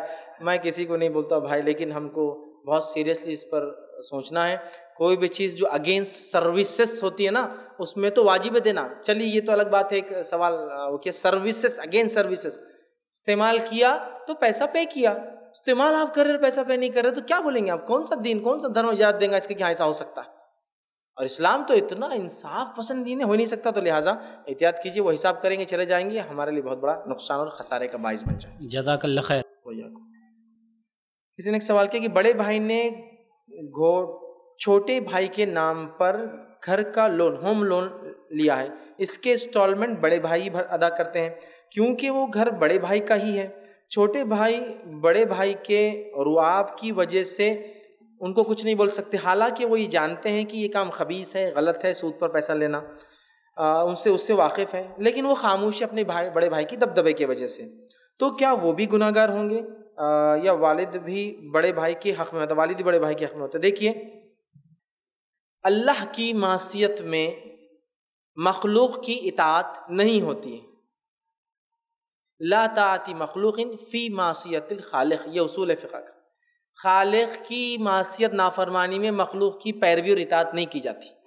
تو اگر کوئی والد یا بڑے بھائی بہت رواب والے اور بڑے تیرے نام سے لینا پڑے گا، اس لیے کہ قرآن نے کہا، تعاون البری و تقوا والا تعاون الاسم و دودوان مدد کرو ایک دوسرے کی نیکی اور بھلائی کے کام میں اور مت مدد کرو برائی اور گناہی کے کام میں چونکہ سود حرام ہے اور بہت سنگین جرم ہے، حالانکہ آپ نے نہیں لیا، آپ کے بھائی نے آپ کے نام پہ لیا، یہ بھی مدد میں شامل ہے۔ اگر بینک میں چوری کرنے لوگ آئے اور میں وہاں کا گارڈ ہوں، میں چورا رہا نہیں خالی دروازہ کھول کے دے دے رہا بول رہا کیا کرنا، کر لو بھیا، جاتے وقت بول کے چل جانا، میں واپس خفل ڈال دوں گا۔ پھر جب لوگ صبح پولیس آئیں گی، بولوں گا بھیا وہ آئے تھے چور، اپن نے کھول کے دیا اپنے چوری میں کوئی ہاتھ نہیں، ایک روپیہ اپن نے نہیں لیا اس سے۔ وہ بولیں گے بہت اچھا نیک کام کیا بھیا، تو نے تیرے جیسے لوگ نہیں ہیں۔ ہاں ابھی وہ جب پکڑے جائیں گے، پکڑے جائیں گے، ابھی تو یہی جا رہا اندر اب۔ چلو بیٹا تم۔ تو وہی ہو رہا ہے نا، آپ خود کچھ نہیں کر رہے، لیکن آپ کے نام سے سب ہو رہا ہے نا۔ اگر کل کو بھائی کو اللہ نہ کرے کچھ ہو یا آپ کو کچھ ہو، تو آفیشیلی کس سے وہ لون لیا جائے گا؟ کس کی وراثت کے اندر سے کٹیں گا؟ کس کے نام سے ہوں گا؟ ہم کیسے اجازت دیں گے کہ یہ غلط چیز میں ہمارا نام ہو؟ تو میں کہوں گا، والد کا رواب، ان کا مقام اپنی جگہ، بھائی کا رواب بڑے مقام اپنی جگہ، لیکن بولا بھیا، گناہ اور معاشرت کے کام میں اپن کسی کا ساتھ نہیں دیں گے۔ وہ چاہے صرف میرے نام پہ کوئی چیز اٹھانا، بہت سارے لوگ ہوتے ہیں، بھائی اپن نے لون تھوڑی لی، صرف بینک میں سائن کرنے گئے تھے اپن۔ اے بھیا اپن صرف گواہ ہیں، تیرے گارنٹر بھی نہیں ہے صرف وٹنس میں آیا تھا۔ آپ سم کی حدیث ہے، جو سود لے، لیتا ہے اور جو دیتا ہے، جو لکھتا ہے اور جو گواہ بنتا ہے، چاروں گناہ میں برابر ہے۔ جو سود لیتا ہے اور دیتا ہے، جو لکھتا ہے اور جو گواہ بنتا ہے، چاروں برابر ہے۔ اب کون چھوٹا؟ بہرحال اس بات کو ہم سمجھیں اور آپ اس سے معذرت چاہے اگلی بار بولیے، ٹھیک ہے، لیکن بھائی ہونا الگ جگہ ہے، لیکن معاشیت کے اس میں ہم حصے دار نہیں بنیں گے السلام علیکم۔ ہمارا نام شعیب خان ہے۔ ایک سوال تھا کہ کچھ لوگ قرض مدت کے حساب سے دیتے مطلب پچاس ہزار روپئے دیے تو چھ مہینے کے بعد ساٹھ ہزار روپئے لوٹانا پڑے گا۔ ایک سال کے بعد ساٹھ دیے تو ستر ہزار لوٹانا پڑے گا۔ اور دوسرا، یہ کہاں تک درست ہے؟ اور دوسرا سوال یہ کہ اگر کسی کو اپن بنا شرائط کے قرض دیتے ہیں اور اس کا بزنس حرام ہے اور بعد میں وہ پیسے ریٹرن لے سکتے یا نہیں؟ بھائی نے ایک سوال کیا کچھ لوگ کچھ مدت کے اعتبار سے قرض دیتے ہیں اور اس پہ زیادہ لیتے ہیں۔ دیکھیے وہ جو قرض پہ جو نفع آ رہا ہے، وہ شریعتاً حرام ہے۔ قرض پہ جو نفع آپ کو آ رہا ہے، جو ساٹھ کے بدلے ستر، پچاس کے بدلے ساٹھ، ایک سال بعد لے رہا ہے، وہ سود ہے، وہ حرام ہے، وہ نہیں کیا جا سکتا۔ بھائی کے دوسرے سوال کیسا تھا؟ اگر کسی کو انہوں نے قرض دیا اور اس قرض لینے والے نے وہ قرض کو حرام کام میں لگایا۔ پھر حرام کام میں لگانے کے بعد آپ کو لوٹا رہا ہے۔ تو آپ کا قرض دینا، اگر دینے سے پہلے آپ کو پتہ ہے کہ حرام کام میں لگائیں گا تو مت دیجیے لیکن آپ کو پتہ نہیں تھا وہ کہاں لگائیں گے۔ آپ نے دے دیا، دینے کے بعد وہ شخص نے کیا۔ تو آپ نے چونکہ اپنا پیسہ دیا تھا اور اس سے لے رہے ہیں، آپ کے لیے واپس لینے میں کوئی حرج نہیں۔ چونکہ آپ نے اپنا حلال پیسہ دیا تھا، وہ واپس لے رہے ہیں، ٹھیک ہے؟ تو آپ اس سے وہ پیسہ لے لیجیے اور آئندہ ایسے شخص سے احتیاط کیے۔ تو ویسے تو چاہیے کہ کہاں خرچ ہو رہا ہے، دیکھا جائے۔ معلوم ہے تو آپ نہ دیں۔ اور اگر دے دیا ہے، تو بہرحال جتنا آپ اتنا لے رہے ہیں، تو آپ کا پیسہ چونکہ وہ تھا، لینے میں انشاءاللہ واپس کوئی حرج نہیں ہوگا۔ اچھا انہوں نے سوال کیا کہ اگر کسی نے قرض لیا اور وہ اس کے اندر شامل تھے، اگر وہ نہ لوٹائے تو کیا ان کو لوٹانا پڑے گا جو تھے؟ تو یہ سوال گارنٹر کے تعلق سے مطلب اگر کسی نے قرض لیا دیکھیے دو چیز ہوتی ہے قرض کے اوپر وٹنس ہوتے ہیں اور گارنٹر ہوتے ہیں۔ وٹنس کا معنی ہوتا ہے گواہ۔ مطلب وہ قرض لینے دینے میں گواہ ہوتے ہیں کہ ہاں اس نے دیا اور اس نے لیا۔ لیکن اگر وہ سامنے والا نہ دے جس نے ادھار لیا، تو یہ لوگ کچھ نہیں کریں گے، صرف بولیں گے بھائی دے، ہم گواہ ہے اس کے۔ لیکن اگر قرض پر آپ گارنٹر بن رہے ہیں، گارنٹر، ذمہ دار بن رہے ہیں، تو اگر وہ شخص جس نے قرض لیا نہ دے پائے، تو پھر وہ شخص جو گارنٹر بنا اس کو لوٹانا ہوگا۔ تو آپ اس میں گارنٹر تھے یا وٹنس تھے؟ وہ پہلے طے کر لیں۔ گارنٹر تھے تو لوٹانا پڑے گا۔ وٹنس تھے تو پھر لوٹانے کی ضرورت نہیں ہے۔ صرف آپ اس کو بولیے کہ بھائی لوٹا دیجیے اس کا یہ قرض ہے۔ جی۔ السلام علیکم۔ میرا سوال یہ ہے کہ اگر کوئی نابالغ ہے، بس اسکول لائف میں رہتے بچے، پین لے لیتے، واپس نہیں دیتے اور اسی طریقے سے ربر لے لیتے مطلب نابالغ رہتے، اور پھر واپس بھی نہیں دیتے، اور اس سے پہلے وہ فوت ہو گئے۔ اسی طرح اگر وہ کوئی نابالغ ہے اور چوری کرتا ہے اور واپس نہیں دیتا اور یا بھول جاتا ہے یا جس کی چوری کیا تھا وہ فوت ہو جاتا ہے، تو اس کے ساتھ کیا ہوں گا؟ بھائی نے ایک سوال کیا کہ اگر کوئی نابالغ چھوٹے بچے ہیں، اسکول میں ہوتا ہے، پین لے لیا کمپاس لے لیا، بک لے لی، یا کبھی چرانے کی نیت سے بھی لے لیتے ہیں، وہ چوری تو ایک الگ مسئلہ ہے۔ اگر نابالغ ہے، چھوٹا ہے تو یہاں سب سے پہلی چیز والدین کا کام ہے کہ بچے نے وہ کمپاس وہ پین وہ ربر کہاں سے لایا؟ اگر بچہ آپ کا ایک دن ایک چھوٹی پینسل کا ٹکڑا بھی لاتا ہے تو میں کہوں گا ضرور بچوں سے پوچھنا، بیٹا، کہاں سے لائے ہو؟ اس لیے کہ اسلام میں حرام اور حلال بڑا اہم ہے۔ اور تعلیم دو بیٹا، یہ اگر ملی بھی تھی تو آپ اسکول کے آفس میں رکھ کر آتے، پیون کے ہاتھ میں تھما کے آتے، لیکن ایسی کبھی کوئی چیز آئندہ گھر میں نہیں لانا۔ تو یہ بچے بچپن سے تربیت یافتہ ہوتے ہیں کہ ہاں یہ چیز ایسی اٹھا کے نہیں لانا چاہیے، ورنہ اگر ایک بار ڈیولپ ہونا شروع ہو گئے تو پھر چوریاں چالو ہو جاتی۔ ہیں تو لہٰذا اگر انہوں نے انجانے میں چھوٹے تھے، مستی کے تحت کر لیا، تو اللہ تعالیٰ ان شاء اللہ اس معاملے میں گرفت نہیں کریں گا، چاہے وہ پین ہو یا ربر ہو یا پینسل ہو۔ ہاں لیکن سمجھ آنے کے بعد، اور اسلام میں بچہ دس سال میں بالغ ہو جاتا ہے۔ اس کے بعد کیا؟ تو پھر اس شخص کو جا کر وہ پینسل ربر لوٹا دے یا اس کی قیمت دے دے کہ بھیا مجھ سے غلطی ہوئی تھی اور میں آپ کو یہ لوٹا دینا چاہتا ہوں۔ کسی نے سوال کیا، شوہر کے اوپر بیوی کا مہر قرض ہے؟ اگر ایسا ہے تو اس شخص کے بارے میں کیا حکم ہے جس نے اپنے بیوی کا مہر ادا نہیں کیا؟ بڑا اچھا سوال ہے، چونکہ مہر ایک رقم ہوتی ہے جو نکاح میں طے ہوتی ہے، جس کی بنیاد پر اس کی شرمگاہ اس کے لیے حلال ہوتی ہے۔ تو اس معاملے میں کیا ہے؟ تو دیکھیے، حدیث میں نے مسند احمد کی رکھی تھی، جو نکاح کرے اور لوٹانے کی نیت نہ اس نے زنا کیا۔ تو میں کہوں گا، اگر کسی نے مہر باندھا ہے تو مہر ہونا چاہیے کیش لیکن ادھار بھی رکھا جا سکتا ہے۔ کیوں؟ اس لیے کہ کبھی کبھار حالات نہیں ہوتے، جیسا کہ میری شادی آج اچانک طے ہو گئی اور آج میری تنخواہ نہیں ہے، پیسہ نہیں ہے۔ اے ٹی ایم بند ہے تو میں لا نہیں سکتا ہوں بینک سے۔ تو میں بولتا ہوں کہ کل یا دو تین دن بعد ہم چکا دیں گے۔ آپ ہمارے پاس وہ مہر کو ادھار رکھتے اور جو کھینچتے ربر کے ایسا اس کو۔ مہر مہر دے، دینا کس کو؟ اکاون ہزار مہر۔ جو اکاون ہزار تو سال میں نہیں کماتا ہو مہر مہر مہر مہر مہر مہر، اور ایک دن ہوتا کہ وہ مر جاتا شوہر، پھر وہ بیوی کو لاتے، بیچاری صدمے میں پریشان چور چلا گیا، معاف کرو مہر، معاف کرو مہر، تو وہ بھی بولتی زندگی میں تو دیا نہیں، مر گیا، مردود ماٹھے ملا اب کیا دیں گا معاف کر دی۔ تو میری بات غور سے سن لے، ایسا مہر معاف نہیں ہوتا نہیں ہوتا ایسا مہر۔ مہر کیش دیجیے اور میں کہوں گا شادی سے پہلے دیجیے۔ اتنا باندھیے جتنا کیش دینے کی طاقت ہو۔ نام و نمود کے لیے نہیں۔ اب بنے وہ زمانے میں پانچ ہزار باندھے تھے، چاندی کو سکے، وہ اشرفیہ چلتے تھے۔ تو اب اپنا کتنا پچاس لاکھ؟ دینا کس کو؟ باندھو پچاس لاکھ۔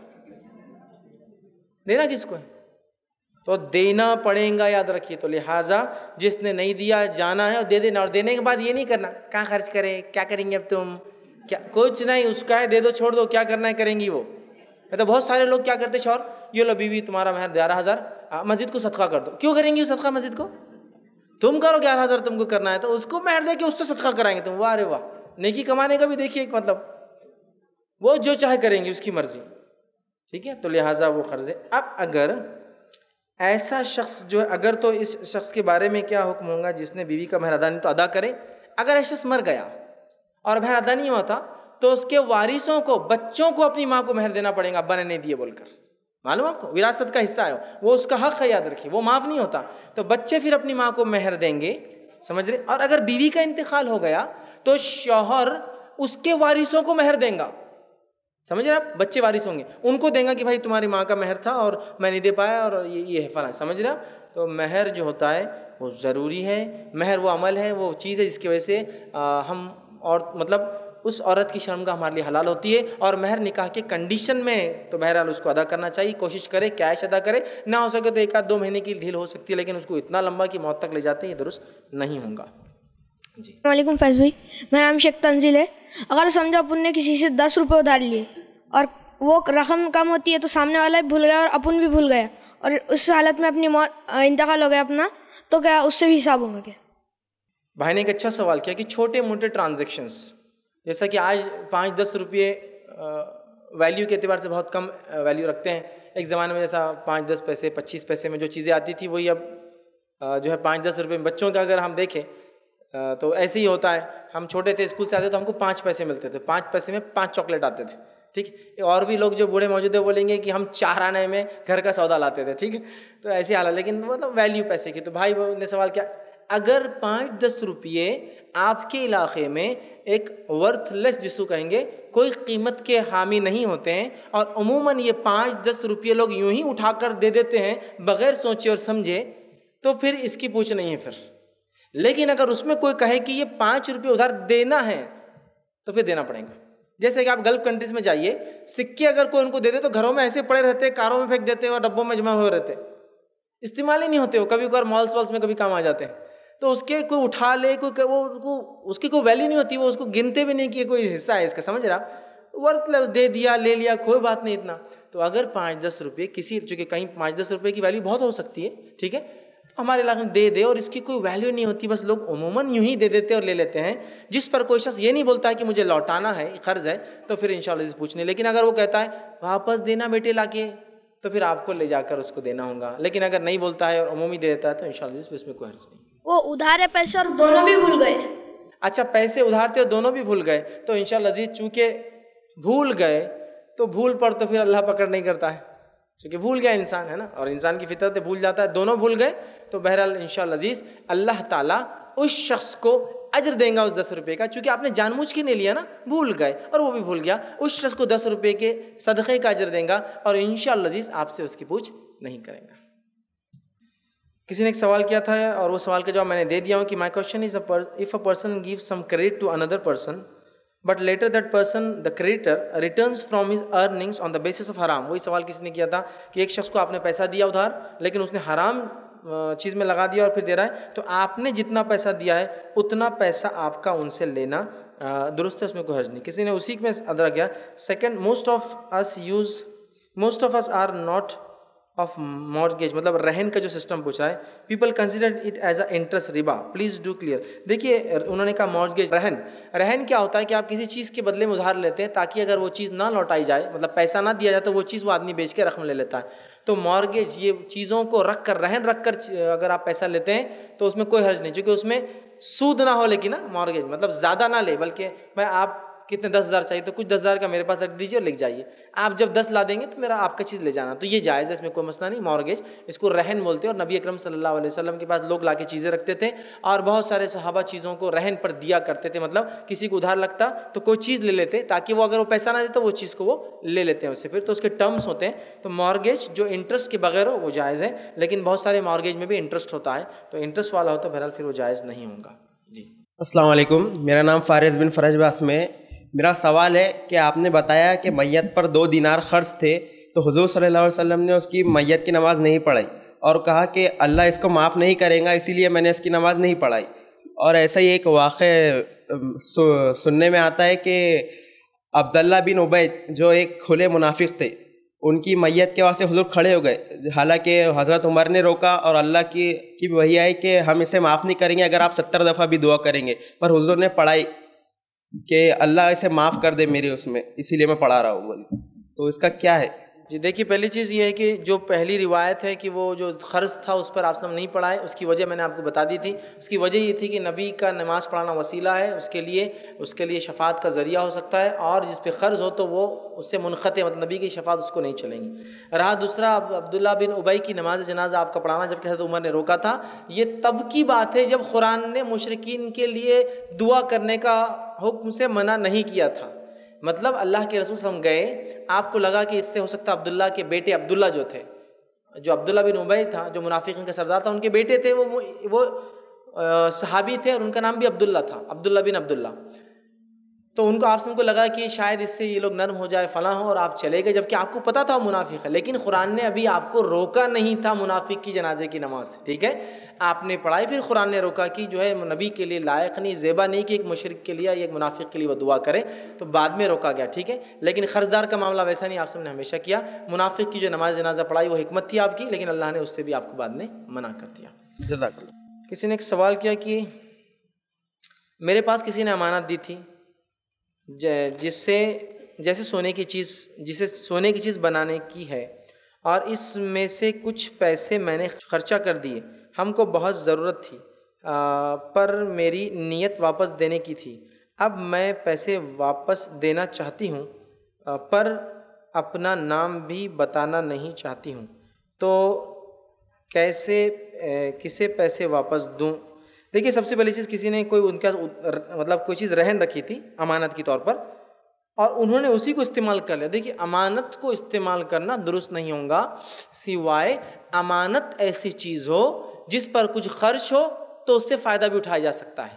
جیسے کوئی کہے کہ میرا گھوڑا رہن ہے تمہارے پاس، تو گھوڑے کو چارہ لگتا ہے زندہ رہنے کے لیے، تو تب تک گھوڑا استعمال کرنا گھڑ سوار کے وہ آدمی کے لیے رہن جس نے رکھا جائز بھی ہوں گا کیوں؟ تو وہ کھلاتا ہے تو فائدہ لیتا ہے اس کا۔ سمجھ رہے آپ؟ رہن میں اگر کوئی ایسا بکری دیتا ہے کہ میری بکری آپ کے پاس رہن ہے تو بکری بغیر چارے کے زندہ رہیں گی کیا نہیں؟ تو چارہ یہ ڈالیں گے تو دودھ بھی لے سکتا ہے اس کا وہ، ٹھیک ہے؟ لیکن آپ کا جو سوال ہے وہ یہ ہے کہ سونا تھا، تو سونا تو کچھ بھی آپ کو نہیں ہو تو رہن تھا۔ تو پہلی چیز سونا، کیش، کبھی بھی کسی سے رہن لیا، رکھا ہے۔ رہن کو یوز نہیں کر سکتے ہیں۔ آپ کا پہلے کام تھا کہ ان سے اجازت طلب کرتے۔ اجازت کے بعد وہ ان سے کہتے کہ دیکھو ویسے بھی تو پڑھا ہے امانت ہے۔ امانت ہے۔ کیا میں امانت کو رکھوں؟ آپ نے جو عمل کیا یہ درست بالکل نہیں ہے کہ آپ نے امانت کو بغیر پوچھے استعمال کیا۔ اب آپ دینا چاہ رہے ہیں۔ اب آپ دے دیجیے اس کو۔ اب آپ نام بھی نہیں بتانا چاہ رہے۔ مطلب میں غلطی بھی کروں گی، نام بھی نہیں آنا، کام بھی ہو جانا، سب کچھ درست ہونا نہیں ہوگا آپ امانت اگر لی تھی، اس میں خیانت ہوئی ہے، اس کو استعمال ہوا ہے شو کیجیے کہ استعمال ہوا ہے، ہم سے ہم مجبور تھے، ہو سکتا وہ انسان معاف کر دے۔ بہرحال وہ بھی کیا کریں گا وہ تو صرف اتنا ہی بولیں گا غنیمت لا کے دے دیے انہوں نے، وہ بھی اب زیادہ ٹینشن انشاءاللہ نہیں لیں گا۔ تو بہرحال لیکن اگر آپ چھپ کے بھی کر دیں، آپ کو لگتا نہیں اس سے عزت چلے جائیں گی، لوگ دوسرے اعتماد نہیں کریں گے، مجبوری واقع میں ایسی تھی۔ اب چونکہ سوال آمنے سامنے نہیں تو میں تفصیلات نہیں جان سکتا ہوں۔ بہرحال ایسا کچھ ہے، تو پھر خاموشی سے اس کی چیز بہرحال لوٹا دیجیے اور اللہ سے توبہ کر لیجیے کہ اللہ مجھ سے ہی بہرحال غلطی ہوئی۔ السلام علیکم۔ میرے والد نے ان کے ایک دوست کو پیسہ دیا تھا بزنس کے لیے، جو کہ رقم ہے لاکھوں میں تھی۔ اور اب وہ سیٹ ہو گئے۔ انہوں نے ماشاء اللہ کافی اچھا اپنا بزنس سیٹ کر لیا ہے۔ اور ابھی وہ لوٹانے کا نام نہیں لے رہے۔ ہم نے ہر وہ کوشش کی ہے ان کو بھی گناہ سے بچانے کی اور ہمارا قرضہ بھی ہمیں مل جائے۔ تو وہ یہ کہتے ہیں کہ مطلب پہلے کہ دے دیں گے، پھولوں میں رکھ کے دیں گے۔ حد تو یہ کیے کہ اللہ کے گھر میں ملے مسجد میں۔ اور وہاں پر بھی یہ بولا ہے کہ ہاں دے دیں گے۔ اس کے بعد تو مسجد سے غائب ہو گئے۔ پھر بعد میں ملتے تو بولتے کہ آپ بیچ میں مت بولو، وہ ہم نے آپ کے والد کا اور ہمارا معاملہ تھا۔ تو ہم کو یہ جاننا ہے کہ کیا ہم کو یہ حق ہے کہ ہمارے والد تاکہ ابھی چل نہیں پاتے؟ برابر، ہم کو حق ہے یہ ہم ان سے وصول کریں ہمارا قرضہ۔ کیونکہ ٹائم پیریڈ، جیسا آپ نے کہا تھا کہ کچھ سہولت بھی دینی چاہیے۔ تو ہم نے تقریباً پندرہ سال دے چکے۔ انہوں نے آدھے سے آدھا بھی ابھی تک قرضہ ادا نہیں کیا۔ بھائی نے ایک سوال کیا کہ ان کے والد سے کسی نے ادھار لیا جس کو پندرہ سال ہو چکے ہیں اور انہیں قرضے میں سے کچھ بھی رقم یہ جو ہونا چاہیے، آدھا بھی ابھی تک ادا نہیں کی۔ اور اگر اب وہ بولتے ہیں اپنے والد کی طرف سے، چونکہ ان کے والد کسی بیماری کی وجہ سے چل نہیں سکتے ہیں، جا کر بولتے ہیں کہ دیو تو کہتے ہیں تمہارے ابا سے والد سے لیا تھا، اب ہم تم کو نہیں دیں گے۔ تو دیکھیے، سب سے پہلی چیز تو آپ کے والد کا پیسہ چونکہ انہوں نے لیا تھا اور آپ وارث ہے وارث کو پورا حق ہے کہ بولے۔ حدیث میں الفاظ دیکھیے کیا ہے؟ کہ اگر کوئی مالدار انسان آنا کانی کرے اور کوئی کسی کو کہے کہ اس سے وصول کر کے لاؤ، تو آپ نے فرمایا کہ اس کی ذمہ داری لینا چاہیے۔ تو یہ تو معاملہ دوسرے کے لیے اور آپ تو بیٹے ہیں۔ ظاہر سے تو بیٹا تو اپنے باپ کا خرچ بالکل لے سکتے اور آپ وارث بھی، آپ کا پیسہ ہے وہ، ٹھیک ہے؟ تو بہرحال آپ بالکل ان سے مانگ سکتے ہو پیسہ۔ وہ ویل سیٹل نہیں ہوتے تو ان کا کام تھا آپ سے مل مل کر معافی مانگے کہ میں نہیں دے پایا۔ لیکن آپ جیسا کرے وہ ویل سیٹل ہو گئے، لاکھوں میں لیا ہے۔ تو میں کہوں گا کہ ان کا کام ہے دینا۔ آپ کا کام ہے ان سے وصول آپ بالکل کر سکتے ہیں، بول سکتے ہیں بہرحال اور چونکہ اتنے سالوں سے نہیں دیا، ہم اللہ سے دعائی کر سکتے کہ اللہ تعالیٰ آپ کو اس کا بہترین اجر دے۔ اور یہ لیکن معاملہ بہت عام ہو چکا ہے، اب کیا کہیں۔ یہ ایک سوال ہے بھائی کا، میں سمجھتا ہوں ہر شخص یہ گواہی دے سکتا کہ میرا کسی نے کسی نے لیا ہے۔ لیکن تعجب کی بات ہے، ہم نے کسی کو دیا تو کہیں نہ کہ ہم بھی کسی کا افسوس کی باتیں مار بیٹھے ہیں۔ ٹھیک ہے، تو بہرحال ہم یہ معاملے سے بچیں اور لوگوں کو ان کی امانتیں، ان کا رقم، ان کا قرض، ان کے ادھار بالکل لوٹائے، تو بہرحال آپ ان سے بالکل مانگ سکتے ہیں، مانگنا چاہیے۔ اگر وہ شخص یہ کام نہیں کرتے اور وہ حقیقت میں وہ قرض تھا جو آپ نے دیا تھا، تو بہرحال روز قیامت یاد رکھیے، اس پیسے کے بدلے آپ کو اجر ملیں گا۔ اور ان شاء اللہ اللہ سے قوی گمانے کہ اللہ تعالیٰ آپ کو ہر روز بھی اس کے صدقے کا اجر دیں گا، لیکن ظاہر سی بات ہے، ہر بار ہم صرف صدقے کے اجر کے بنیاد پر خاموش نہیں بیٹھ سکتے۔ وہ صدقہ ہے، اجر دیں گا اللہ۔ چونکہ کبھی کبھار انسان کو خود کو بھی ضرورتیں ہوتی ہے زندگی اور دنیا سب کے پیچھے لگی ہے۔ مالدار بھی ہے تو پیسے کی ضرورت ہے اور غریب بھی ہے۔ تو بہرحال آپ جو بھی طریقہ ہو سکتا ہے، احسن وہ اسلامی اور قانونی اعتبار سے ضرور لے، تاکہ ایسے لوگوں کو سزا بھی ملے کہ وہ آئندہ لوگوں کو تکلیف نہ پہنچائیں لیکن ایک گزارش ضرور کروں گا، یہ ایکشنز جبھی ہو سکتے ہیں جب اس کے لیے ہم شروعات سے تیار رہیں اور بھروسے کے اعتماد میں بھروسہ اپنی جگہ بہت اچھی بات ہے، لیکن بھروسے کی بنیاد پر لکھائی پڑھائی کبھی مت بھولیے تاکہ یہ وٹنس بنیں گی۔ بہت اچھے ہیں میرے بھائی، بہت اچھے لیکن لین دین جب ہوں گی تو لکھ لے، دو گواہ بنا لے میرے بھائی۔ دل کی پاکیزگی اور تمام چیزوں کے لیے اچھا ہے۔ یہ کر لیجیے ورنہ بعد میں یہ ہوتا کہ وٹنس نہیں ہے آفیشیل کچھ کر نہیں سکتے آن ریکارڈ وہ چیز نہیں آئی بانڈز اس کے لیے تیار نہیں ہوئے۔ سمپل پروسیس ہوتا ہے، ایک بانڈ تیار کر لینا چاہیے آفیشیل اس کو نوٹری کرا لینا چاہیے تاکہ آپ، ہم یہ نہیں بول رہے کہ ہم کو شک ہے تو ہم کام کریں۔ قرآن نے حکم دیا، لین دین جب کرو تو لکھ لو، دو گواہ بنا لو، لکھنے والا جھوٹ نہ لکھے، انصاف کے ساتھ لکھے۔ کتنی باتیں کہیں۔ اس سورہ بقرہ کا اٹھائی آئے تو بہرحال ہم کوشش کریں کہ جو بھی لیگل بہترین ایکشن ہو سکتا بہرحال لیں۔ اللہ تعالیٰ ان شاء اللہ آپ کو جزاک اللہ خیر۔ جی۔ شیخ میرا نام سید فیصل ہے۔ میرا سوال ہے کہ ایک تاجر تھا جو تنہا تھا نہ اس کا کوئی باپ تھا نہ وہ اور ایک نئے شہر میں آیا تھا۔ اس کا نہ کوئی وارث تھا نہ کوئی ماں باپ بہن کوئی بھی نہیں تھے۔ تو اس نے ایک شخص سے دوستی کی اس سے قرض لیا اور اس کے ساتھ پارٹنرشپ میں پھر کاروبار شروع کیا۔ اور اس کا قرض کسی اور سے قرض لیا اور اس سے کہا کہ تم قرض دے دینا اور وہ غیر مسلم تھا۔ اور اس کی موت ہو گئی۔ پھر، جو غیر مسلم تھا، تو اس نے اس بات کو نظر انداز کر دیا کہ کیا اس نے میرے کو بولا تھا کہ قرض ادا کر دوں اور میں میں قرض نہیں ادا کرتا اس کا۔ تو اس کا کیا ہوا؟ تو بھائی کا ایک سوال تھا، ایک شخص تھا جو اکیلا تنہا تنہا تھا، اس نے کسی ساتھ بزنس کیا، قرض لے کر جس کے ساتھ کیا وہ غیر مسلم تھا اور اس نے یہ وصیت کر دی، بتایا تھا کہ بھائی میرے، میں اگر مر جاؤں تو اس میں سے اس کو دے دینا، اب وہ غیر مسلم نہیں دے رہا ہے تو میرے بھائی، یہ بات آپ یاد رکھیں۔ جب ہم کوئی معاملات کرتے ہیں اور جب معاملہ ایسا ہے کہ اتنے تنہا تنہا انسان ہے، میں چاہوں گا اس کو آفیشیل کام کرنا چاہیے۔ آفیشیل کام یہ ہے کہ اس چیز کو لکھوا لے سامنے والے کو لکھ کر ایک بانڈ پر دے دے کہ یہ رقم لی گئی، نوٹری کرا دے اور رکھ دے۔ اب کل کو اگر وہ شخص جیسے انتقال ہو گیا اس کا اور وہ غیر مسلم پارٹنر نہیں دے رہا ہے، تو یہ لیگلی لے سکتا ہے اس سے کہ یہ آدمی نے مجھ سے قرض لیا تھا۔ لیکن اب لیگل چونکہ ہم لوگ پروسیس کرتے نہیں ہیں لیگلٹی کو ہم غیر بھروسے والی بات ہے۔ غیر ارے اعتماد نہیں ہے کہ بھیا میرے پہ پیسے تو لے رہا، لیکن اگر یہ اعتماد گھر لیتے وقت کرے تو۔ گھر لے لو، چلو لے لیا بیس لاکھ بھر دیا، گھر میں جا کے رہ لے، رجسٹری کا کرانے کا اعتماد نہیں ہے کیا؟